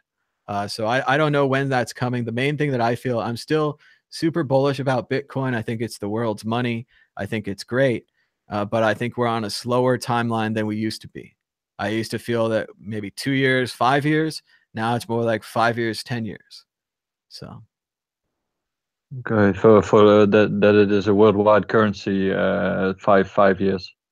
Yeah, after the halving. Did you think it was two years uh, before and now uh, five years?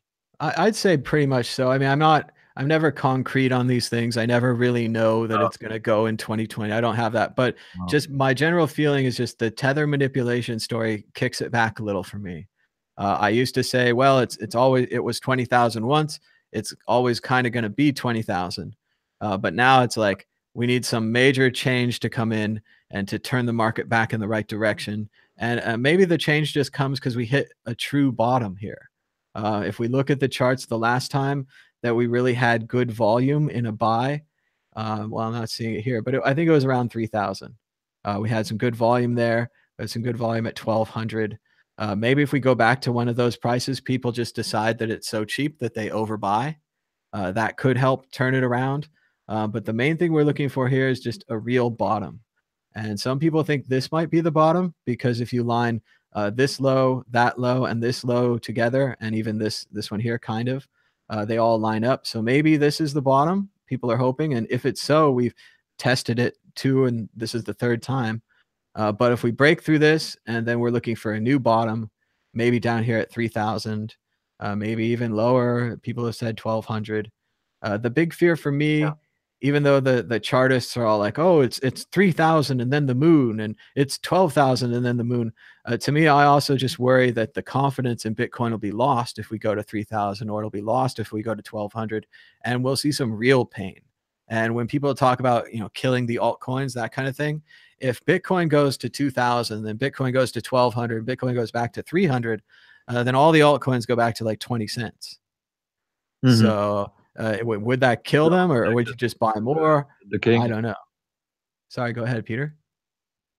They they are all connected to uh, the king uh, Bitcoin. Uh. There it is. Absolutely. And if the king goes down, uh, all the other pieces go as well.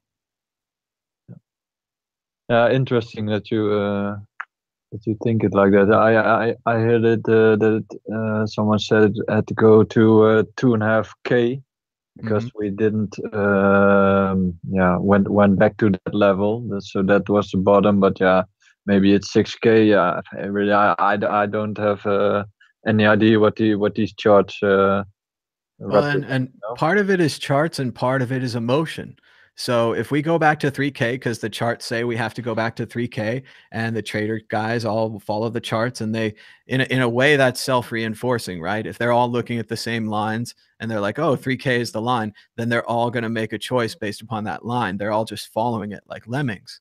Um, but the mm-hmm. lemmings is one thing. The real issue is the mob, right? The whole big crowd of people who are like, oh my God, it went to this. I'm out And if that happens enough, uh, then the money drains out of this. And if they stop uh, reinvesting or they stop dollar cost averaging, if they stop everything, if they just say, hey, I'm going to wait on the sidelines for six months, see how this goes, uh, then we go back down and then we go lower than their lines, even because the emotions change. So uh, there's a lot to really try to understand this. It's it's news, it's charts, it's emotions, uh, it's outside forces.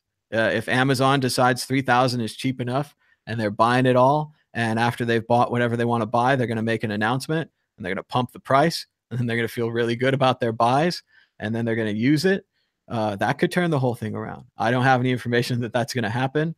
I don't know if there's a reason for Amazon to change that. I have no problem buying things on Amazon right now. Uh, it doesn't need to be easier or faster or anything.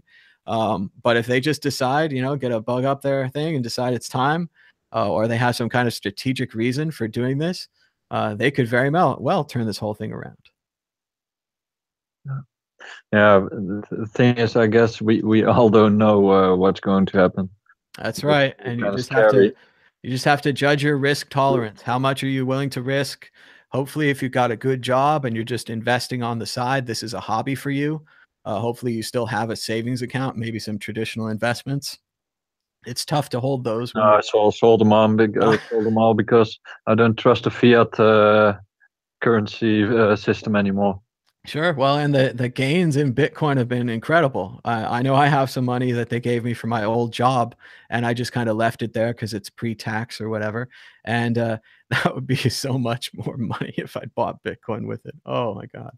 Um, but again, I was trying to be a reasonable person and trying to hold some backup money uh, in case. And I don't think there's anything wrong with that. I don't think that I lost there. I think that I had a, a safety position, and I still now have a safety position. So yeah, yeah it's a bit of uh, less uh, percentage uh, per 20 years. Eh? It's like 8% uh, 20 uh, over 20 years when yeah. you do it with the fiat uh, currency system. That, that's it. That's it. I mean, I've money in organizations.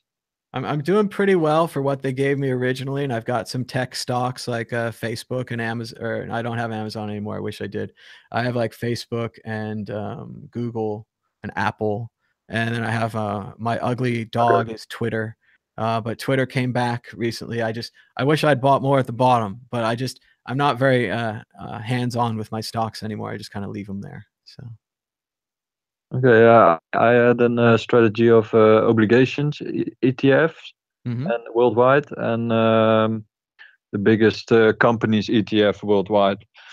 And then you had to um, take your uh, age like i'm 30 and then um, uh, 30% in etfs uh, in, in organizations and then 70 like uh, obligations uh, etfs both worldwide. And then when you're 50 then you do 50 50 because uh, yeah obligations are, are less risk eh? but yeah they, they have 1% um, yeah annual 1% so that's but that was a strategy that you have um, combined uh, eight uh, percent uh, over 20 25 years or something man that sounds that sounds like a good strategy and I'm, I'm definitely in favor of anyone splitting their money up into different piles whether it's a pile of altcoins and a pile of cash or a pile of stocks and a pile of bitcoin uh, whatever you want to get just split it up do a percentage thing be in more more than one thing uh, spread it around. Even though I still think Bitcoin's the best, maybe you want to be 90 10 into Bitcoin, uh, but putting that 10 into something else uh, that could really save your butt uh, if this doesn't work out. As, as long as we don't uh, let it at the bank. Uh, there it is, unless it's all seized. take the whole thing. Yeah. Um, yeah. Leaving your money in the bank is like leaving your money in an exchange, but you have the same problem if you keep your money at home in a safe or whatever it is it's very difficult to hold on to things of value, don't you think? It's a cotton, huh? It's a mm. printed cotton money, uh, fiat currency. Sure, could get eaten by bugs. Uh, I'd rather wear clothes. it is similar to clothes, isn't it? well, uh, thanks so much for the call, Peter, and uh, better luck next time for the Netherlands, huh? Maybe uh, next World Cup we can root for the U.S. and the Netherlands yeah. together. So. Yeah, I heard it. Yeah, I, I uh, put it uh, live, uh, Mexico, uh, Germany, when when you said it, and I thought it was a good, um, a good um, thing you thing you you uh, you you uh, you uh, let us show uh, about Newton. you know? Yeah, yeah. Uh, I think that's good to mention because it was he's so yesterday. smart, and you don't have to feel bad. Like smart people trade bad. and he was a quite clever guy. Eh? absolutely, absolutely, man. you know, you couldn't get any better than Newton. So, Good man. well, thanks so much. and, uh, I see you, man. Yep. Give us a call anytime, Peter. And uh, if you'd like to give us a call now on World Crypto Network, all one word on Skype, uh, we do have the phone lines open. It's around 925. I'll try to keep this going a little bit longer. I've got to start writing down what time I started. Uh, but I think it's been at least an hour, maybe an hour and a half. I'm sure the chat knows. Uh, they say uh, they're still talking. Oh, and they were right. It was uh, Robinho, uh, Ronaldinho, Ronaldo, and Robinho uh, the three R's for Brazil. Incredible players, incredible team. Uh, Brazilian soccer is an amazing thing to watch, even if you're not into soccer. Uh, but boy, did Germany beat them last time. Whew. I, uh, I don't remember the score, but gosh, it was bad. Fat Ronaldo was deadly. and they're saying uh, TA experts have probably not read the white paper. Uh, that's probably true it, you don't have to know anything to trade something. Like I could say, "Hey, buy Amazon," and you don't even have to know that it's a jungle company or whatever. Uh, so uh, funny stuff. People are rooting for uh, Uruguay, Portugal, uh, World Cup coin. That's funny because uh, uh, I think it was Coin Artist was talking on Twitter four years ago or whatever. There was a, a World Cup coin, and they had a little system you can gamble on it, and she promoted it and I I kind of was critical of her and said, "Oh yeah, that's not going to be around in four years," and now it's not around in four years. And she was kind of lamenting that. She said it was fun, and I, I'm sure it was fun to predict all the matches. And there was some kind of other crypto thing that you could do. I don't know that they had their own coin, um, but uh, it was interesting. Let's see. Wow, uh, I don't know about this. I'm just reading it in the chat. I don't know for sure that this is factual, but it says. Uh, Okay, so this guy says, I don't like Ripple, but I don't think their CEO should be kidnapped, as Tone suggested. Uh, so I don't know if Tone suggested that, but he really shouldn't suggest that. I have nothing against the CEO of Ripple. I mean, he says horrible things about Bitcoin and he's a billionaire because of Ripple. Um, but I certainly don't want any harm on him. I do think he's a very high level and a high value figure, so he should have some kind of security and he should take uh, careful care of himself. Um, but yeah, I don't think it's I don't think we should say that anyone should be kidnapped. Uh, the worst thing about that is that it comes back on you and that people aren't thinking about kidnapping the CEO of Ripple, but thinking about kidnapping Tone. And uh, we don't want that. Uh, that is no good. So let's let's just try not to say negative things about other people. I know it's hard, especially when they're mean to Bitcoin. Oh, now they're telling me about the goals in the game. You're ruining the game. I'll watch it on. That's okay. I, I probably wasn't going to watch it, but I am recording it. I do think it's going to be a good game. I think Germany's a great team, and of course, Mexico is a great team. Uh, yeah, I'd like to do an interview with Andreas. It's been a long time since I've talked to him. I saw him at a Bitcoin convention or something like that not too long ago. Uh, but Andreas is great, and he's done uh, so much in the last few years. It would be interesting to do a catch up and see what it's like to travel the world.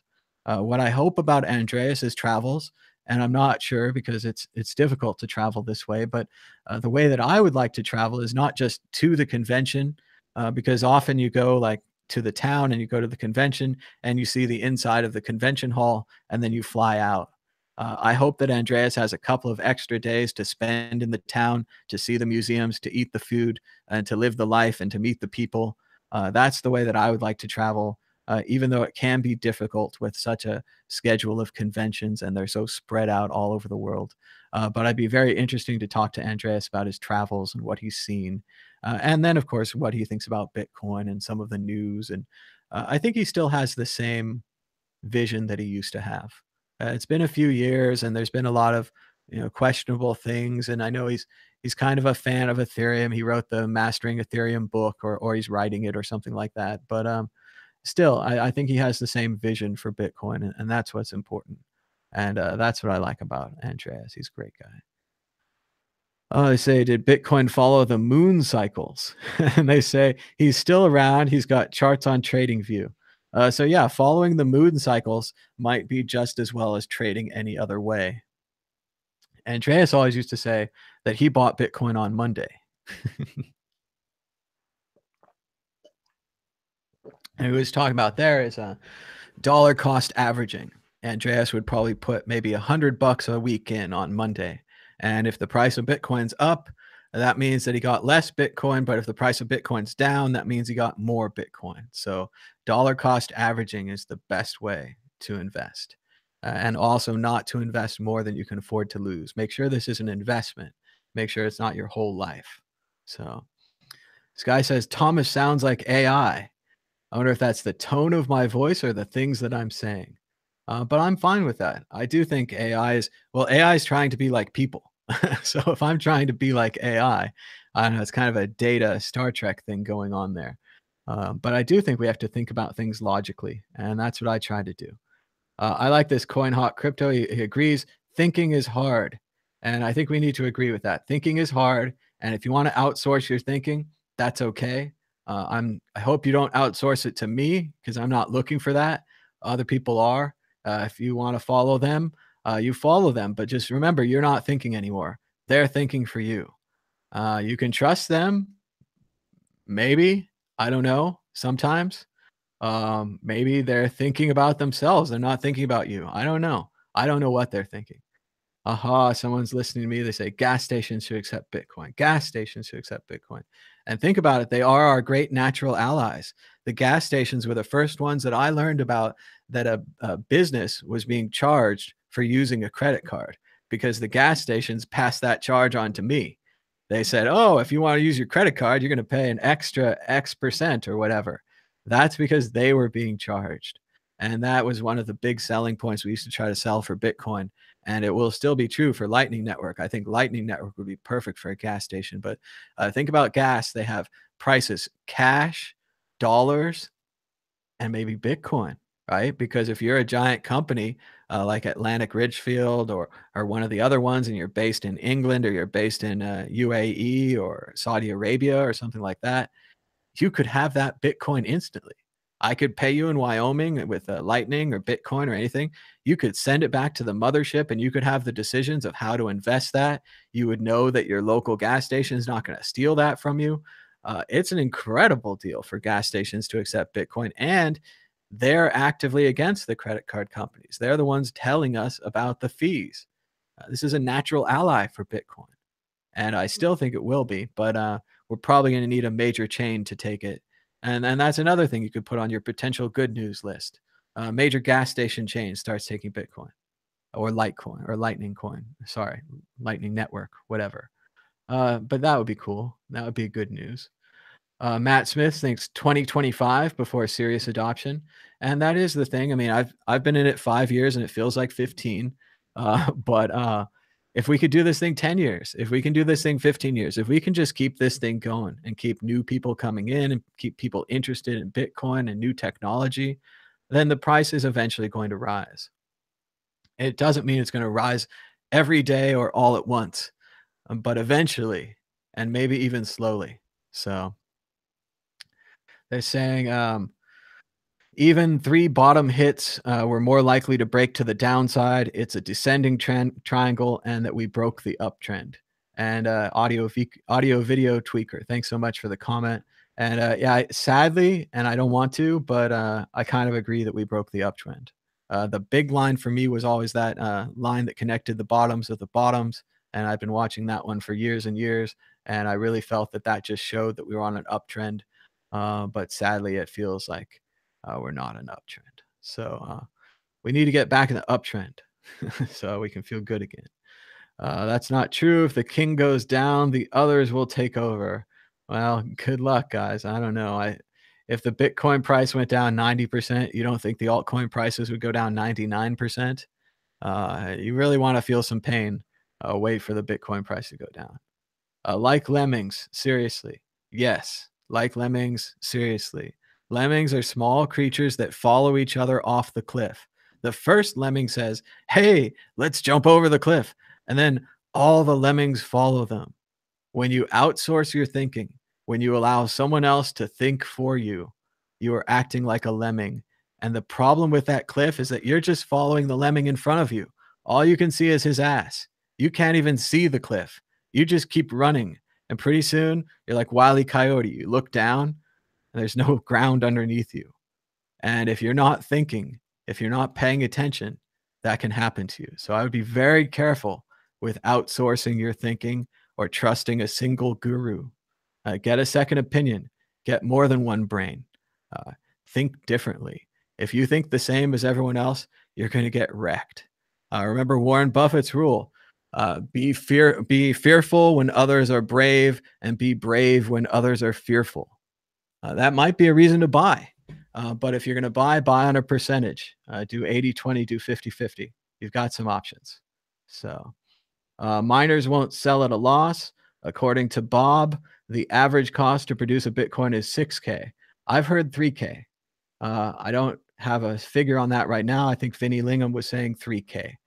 I've heard 1500 before, but that might have been old. Uh, so once again, it is very important where the cost of producing a Bitcoin is with the miners, how much electricity, how much money it costs. If we fall below that, the miners will be in a position where they either have to sell to cover their electricity and they won't make it, or that they have a reserve built up and they can afford to hold. Uh, either way, that could be a problem. Miners that are currently holding could start selling. Uh, that could change the market. So it is very important where the dollar cost to make a Bitcoin is. Uh, although, again, many of these miners are very well capitalized. They know that holding Bitcoin makes money for them. They know that other miners are going to drop out and they're just going to get more Bitcoin during this time if they have a long enough timeline and if they're willing to take that risk. Uh, the miners are doing the same risk calculations that we're doing. They're 70 30, they're 90 10, they've got a 30% bonus. Uh, they're making the same kind of mathematical choices that we make. And if it goes down enough, they have to make different choices. Uh, how about some bank frauds coming out? Oh, there's been some huge bank frauds. Do you see the $100 million penalty that they put on Citibank for helping to fix the LIBOR rates?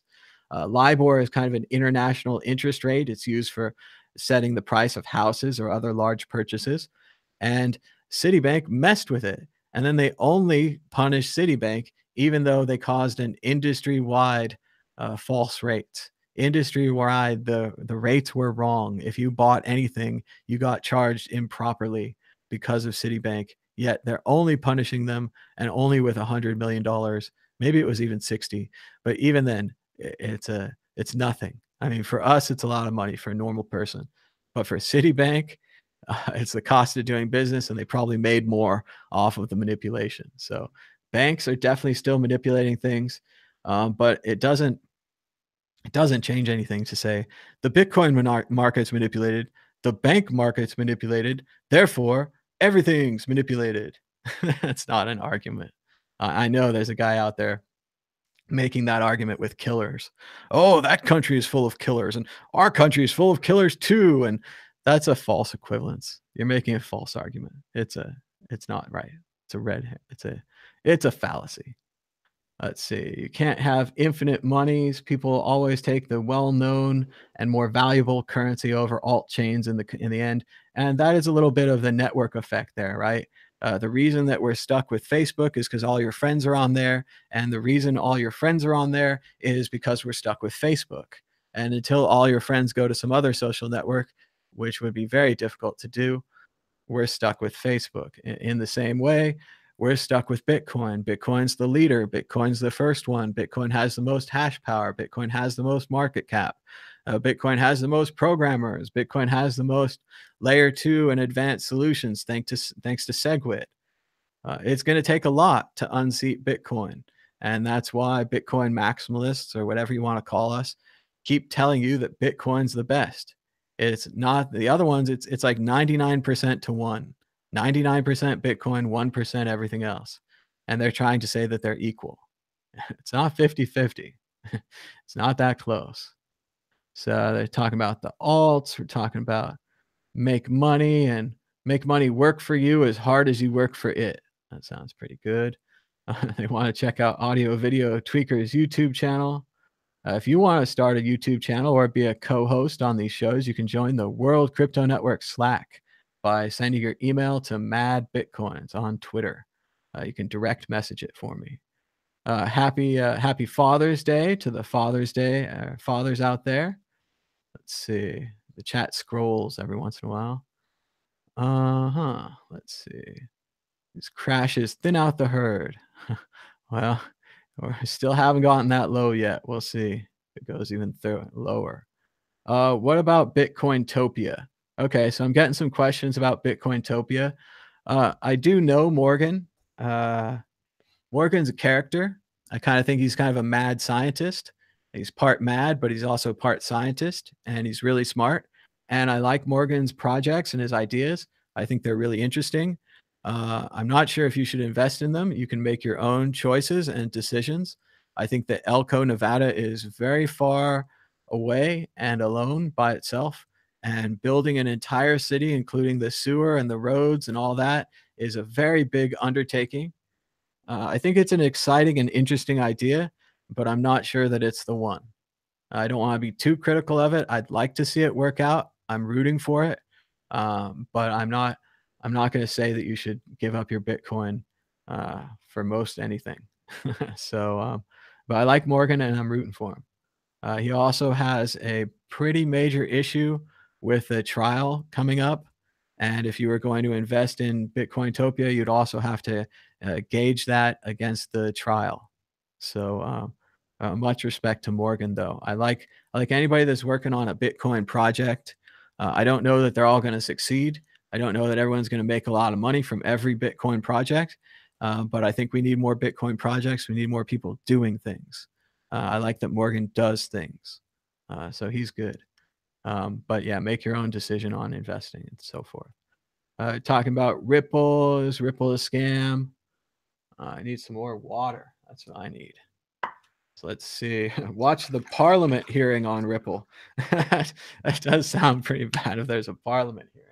Of course, uh, Andreas has been to the Canadian Parliament, and uh, it went really well. And I think you might have went to the U.S. or somebody somebody did. They had some uh, U.S. Senate meetings on Bitcoin and so forth once. It's pretty interesting. Oh, guy says Cardano to the moon. You're a victim of unbelievably manipulative marketing. and that is true. Remember, uh, Bitcoin doesn't have any marketing, right? Bitcoin, the logo is open source and free. I think Satoshi made it himself. Um, I'm out here generally for free. I like donations, and uh, sometimes people buy me a computer or a, a trip to a convention, things like that. Uh, or they just support the show with a Patreon. But in general, I'm not receiving anything from uh, Bitcoin Incorporated. I'm not on a first name basis with Satoshi, uh, though I have met Dorian Satoshi. uh, but yeah, Bitcoin has no official marketing, uh, whereas Ethereum, all these other altcoins, all these ICOs and things have tons of real marketing. They have actual money. They can buy advertisements. They can make advertisements. They could even uh, hire an army of sock puppets if they wanted to say fake things about their cryptocurrency. So when you're investing and also when you're thinking about these other cryptos, you have to keep in mind that what you're watching may be marketing and that it may be really well designed and really well written and perfectly edited and filmed, but it's still marketing. So you have to take it with a grain of salt. Excuse me. They say uh, 60 60,000 to $120,000 a week are being spent at Overstock, yet no one uses it. Uh, so that sounds pretty. Oh, so he's saying it's a Ripple, though, maybe. Ripple's being used. Yeah, well, I don't know that, that that's kind of uh, anecdotal evidence there. It's like, yeah, somebody spent some money, but what does that mean? so uh, Amazon does Bitcoin indirectly yeah, kind of, but not really. If if anything, and I, I don't know how big that website is anymore, where you can buy things from Amazon with Bitcoin, kind of. Um, but uh, Amazon doesn't really get any of that, and if anything, that is blocking people from requesting it from Amazon. Uh, if you were really hardcore and you're going to go request it from Amazon, maybe you just go to that website and spend your money instead. Uh, so that might actually be muting the demand and keeping this important information from Amazon that they should take Bitcoin. Uh, although right now, I pretty much have to say that, uh, yeah, I don't see why Amazon would take Bitcoin. Uh, Amazon's got a great system with the credit cards. They can charge you. They can charge you from Amazon Prime or a recurring fee or anything like that. Uh, there doesn't seem to be any kind of problem Uh, reversals, reversals are probably a, a, problem for them, but not as much because they're just so big. Uh, so yeah, I, I, don't know why Amazon would take it, but uh, JW is mentioning that as another possible uh, good news for Bitcoin. Uh, let's see, they're having a fight over whether it's important that you just watch something or you saw it on Twitter or where you're getting your sources from, and it, it's pretty tough there are a lot of confusing sources if you just see it on Twitter or just see a video about it. Even if you read an article, the article could be paid. Uh, so it comes to a lot of different things. You have to read a lot of articles, you have to think about it, and then you have to follow one of my favorite quotes uh, from the movie Heist. Gene, it's uh, written by David Mamet, a fantastic playwright. He wrote uh, The Untouchables, Glengarry Glen Ross, Wag the Dog, uh, incredible uh, artist. And what Gene Hackman, who's a criminal, he said, "Well, how do you do it?" And he said, "I try to think of what someone smarter than me would do, and then I do that." So that's it. You have to think of what someone smarter than you would do. And you also have to think about what someone dumber than you would do. And you have to think about what the market's going to do and what the smart money's going to do, what the dumb money's going to be doing. And, you know, will that, will the selling pitch that you saw work on smart people? Will it work on technical people? Will it work on dumb people? Uh, maybe the dumb people outweigh the smart and technical people. So it doesn't even matter if it doesn't work technically. Uh, it's going to pump right? Because the dumb money is going to see the advertising and get in. I don't know. There's a lot of variables that you have to weigh.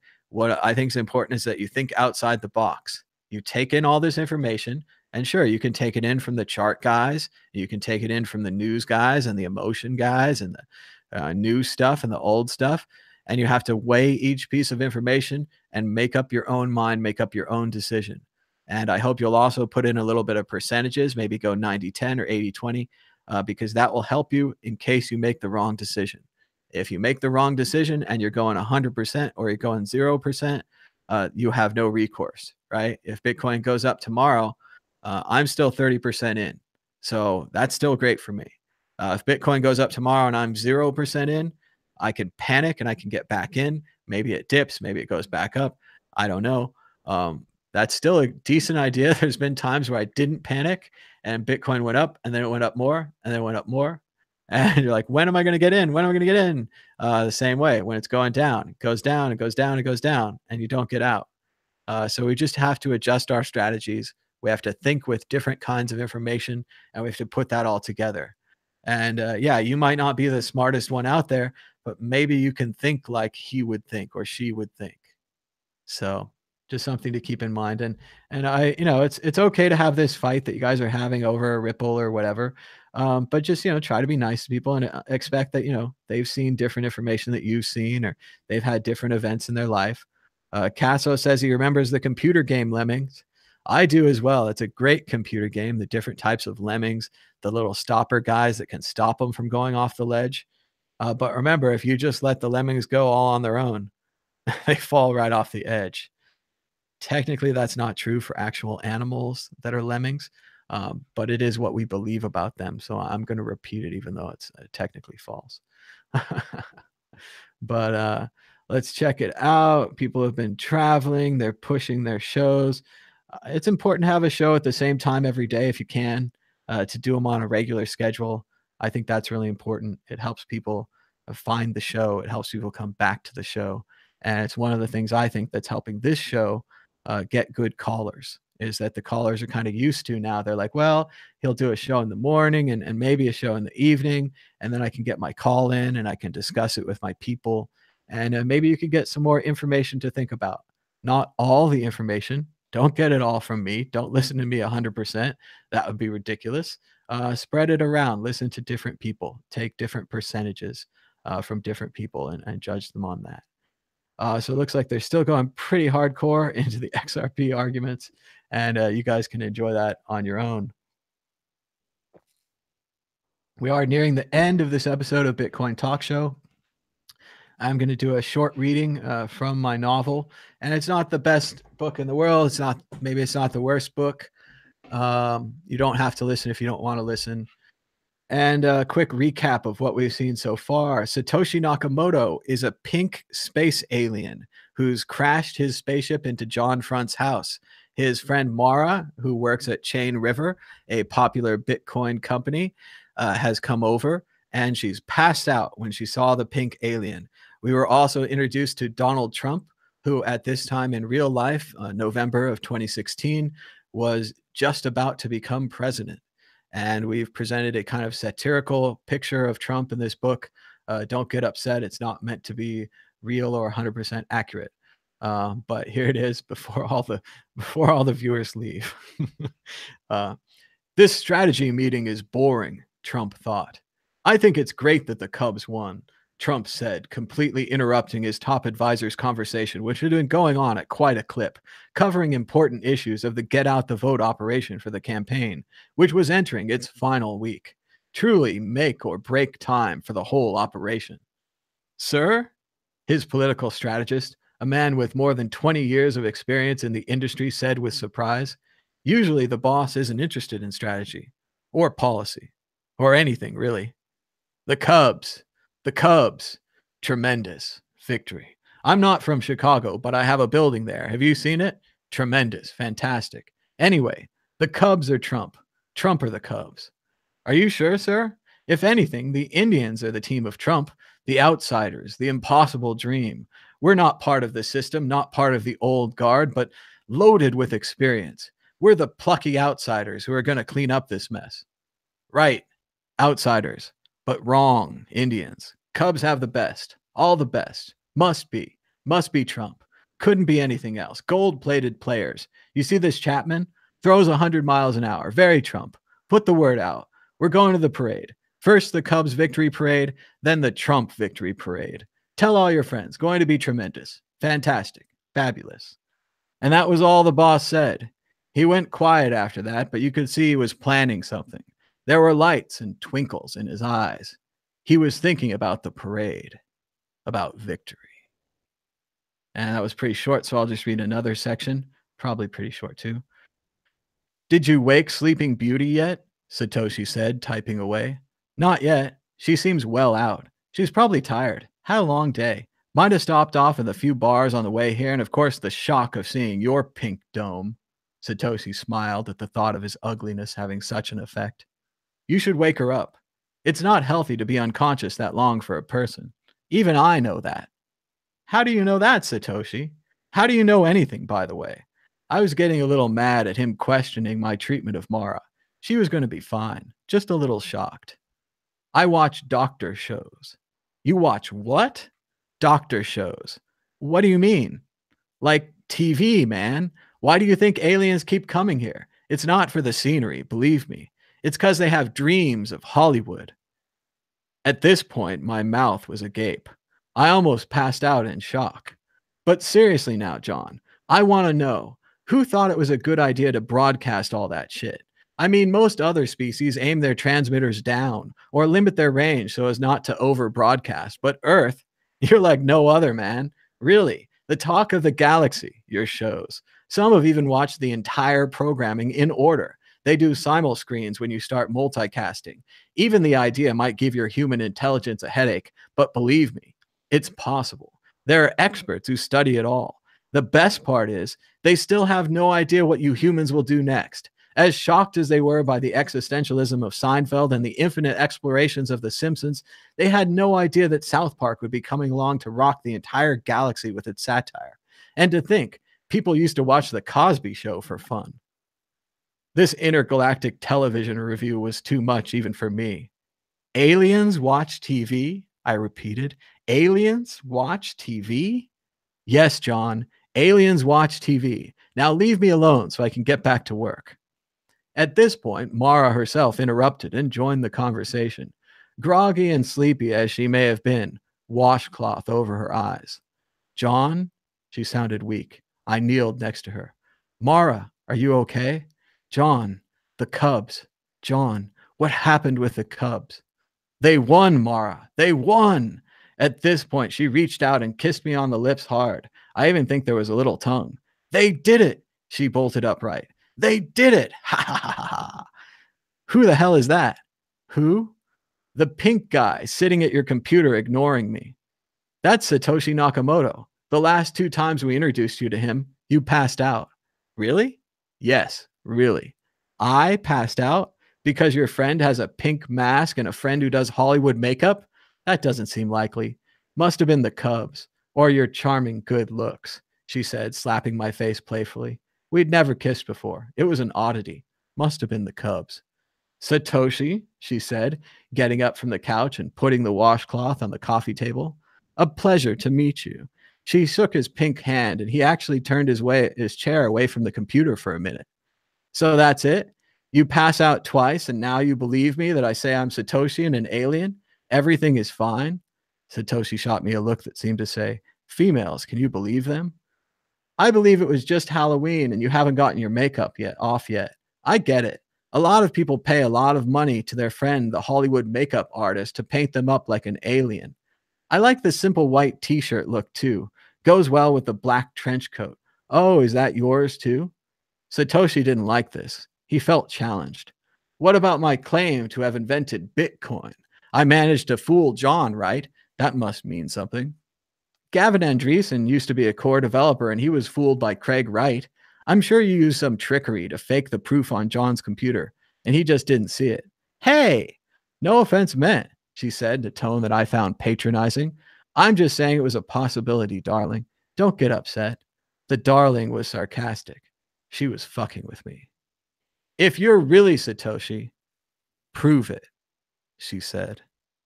And that's about it for this short reading of To Satoshi with Love. Uh, remember, you can always donate in Bitcoin with the QR address on your screen right now. You could even pause it. Let's see if we got any donations today. Um, maybe not today, but looks like we got another uh, $9 donation, $9.98. Uh, thanks so much for your support. Donor number 0.00153401. And thanks so much to our Patreons and uh, everyone in the chat. Had a great time uh, reading that little section, and we'll be reading more soon. Uh, hopefully, I'll be able to do an audiobook, and uh, maybe a couple more times from now, I'll just play you an excerpt from the audiobook. Uh, but thanks so much for watching. We'll probably be back later uh, if I find the time. If not, we'll be back on Monday. I'm not sure if Vortex is doing the Bitcoin news show today. I think he's taken it back to every other week. Uh, so we probably don't have another show for you today on World Crypto Network, but you can always check out the past shows. We did a lot of Bitcoin talk shows this week.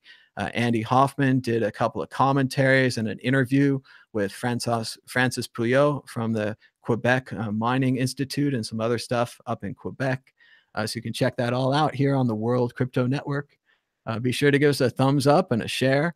Uh, subscribe down below, hit the bell for notifications. And until next time, bye bye.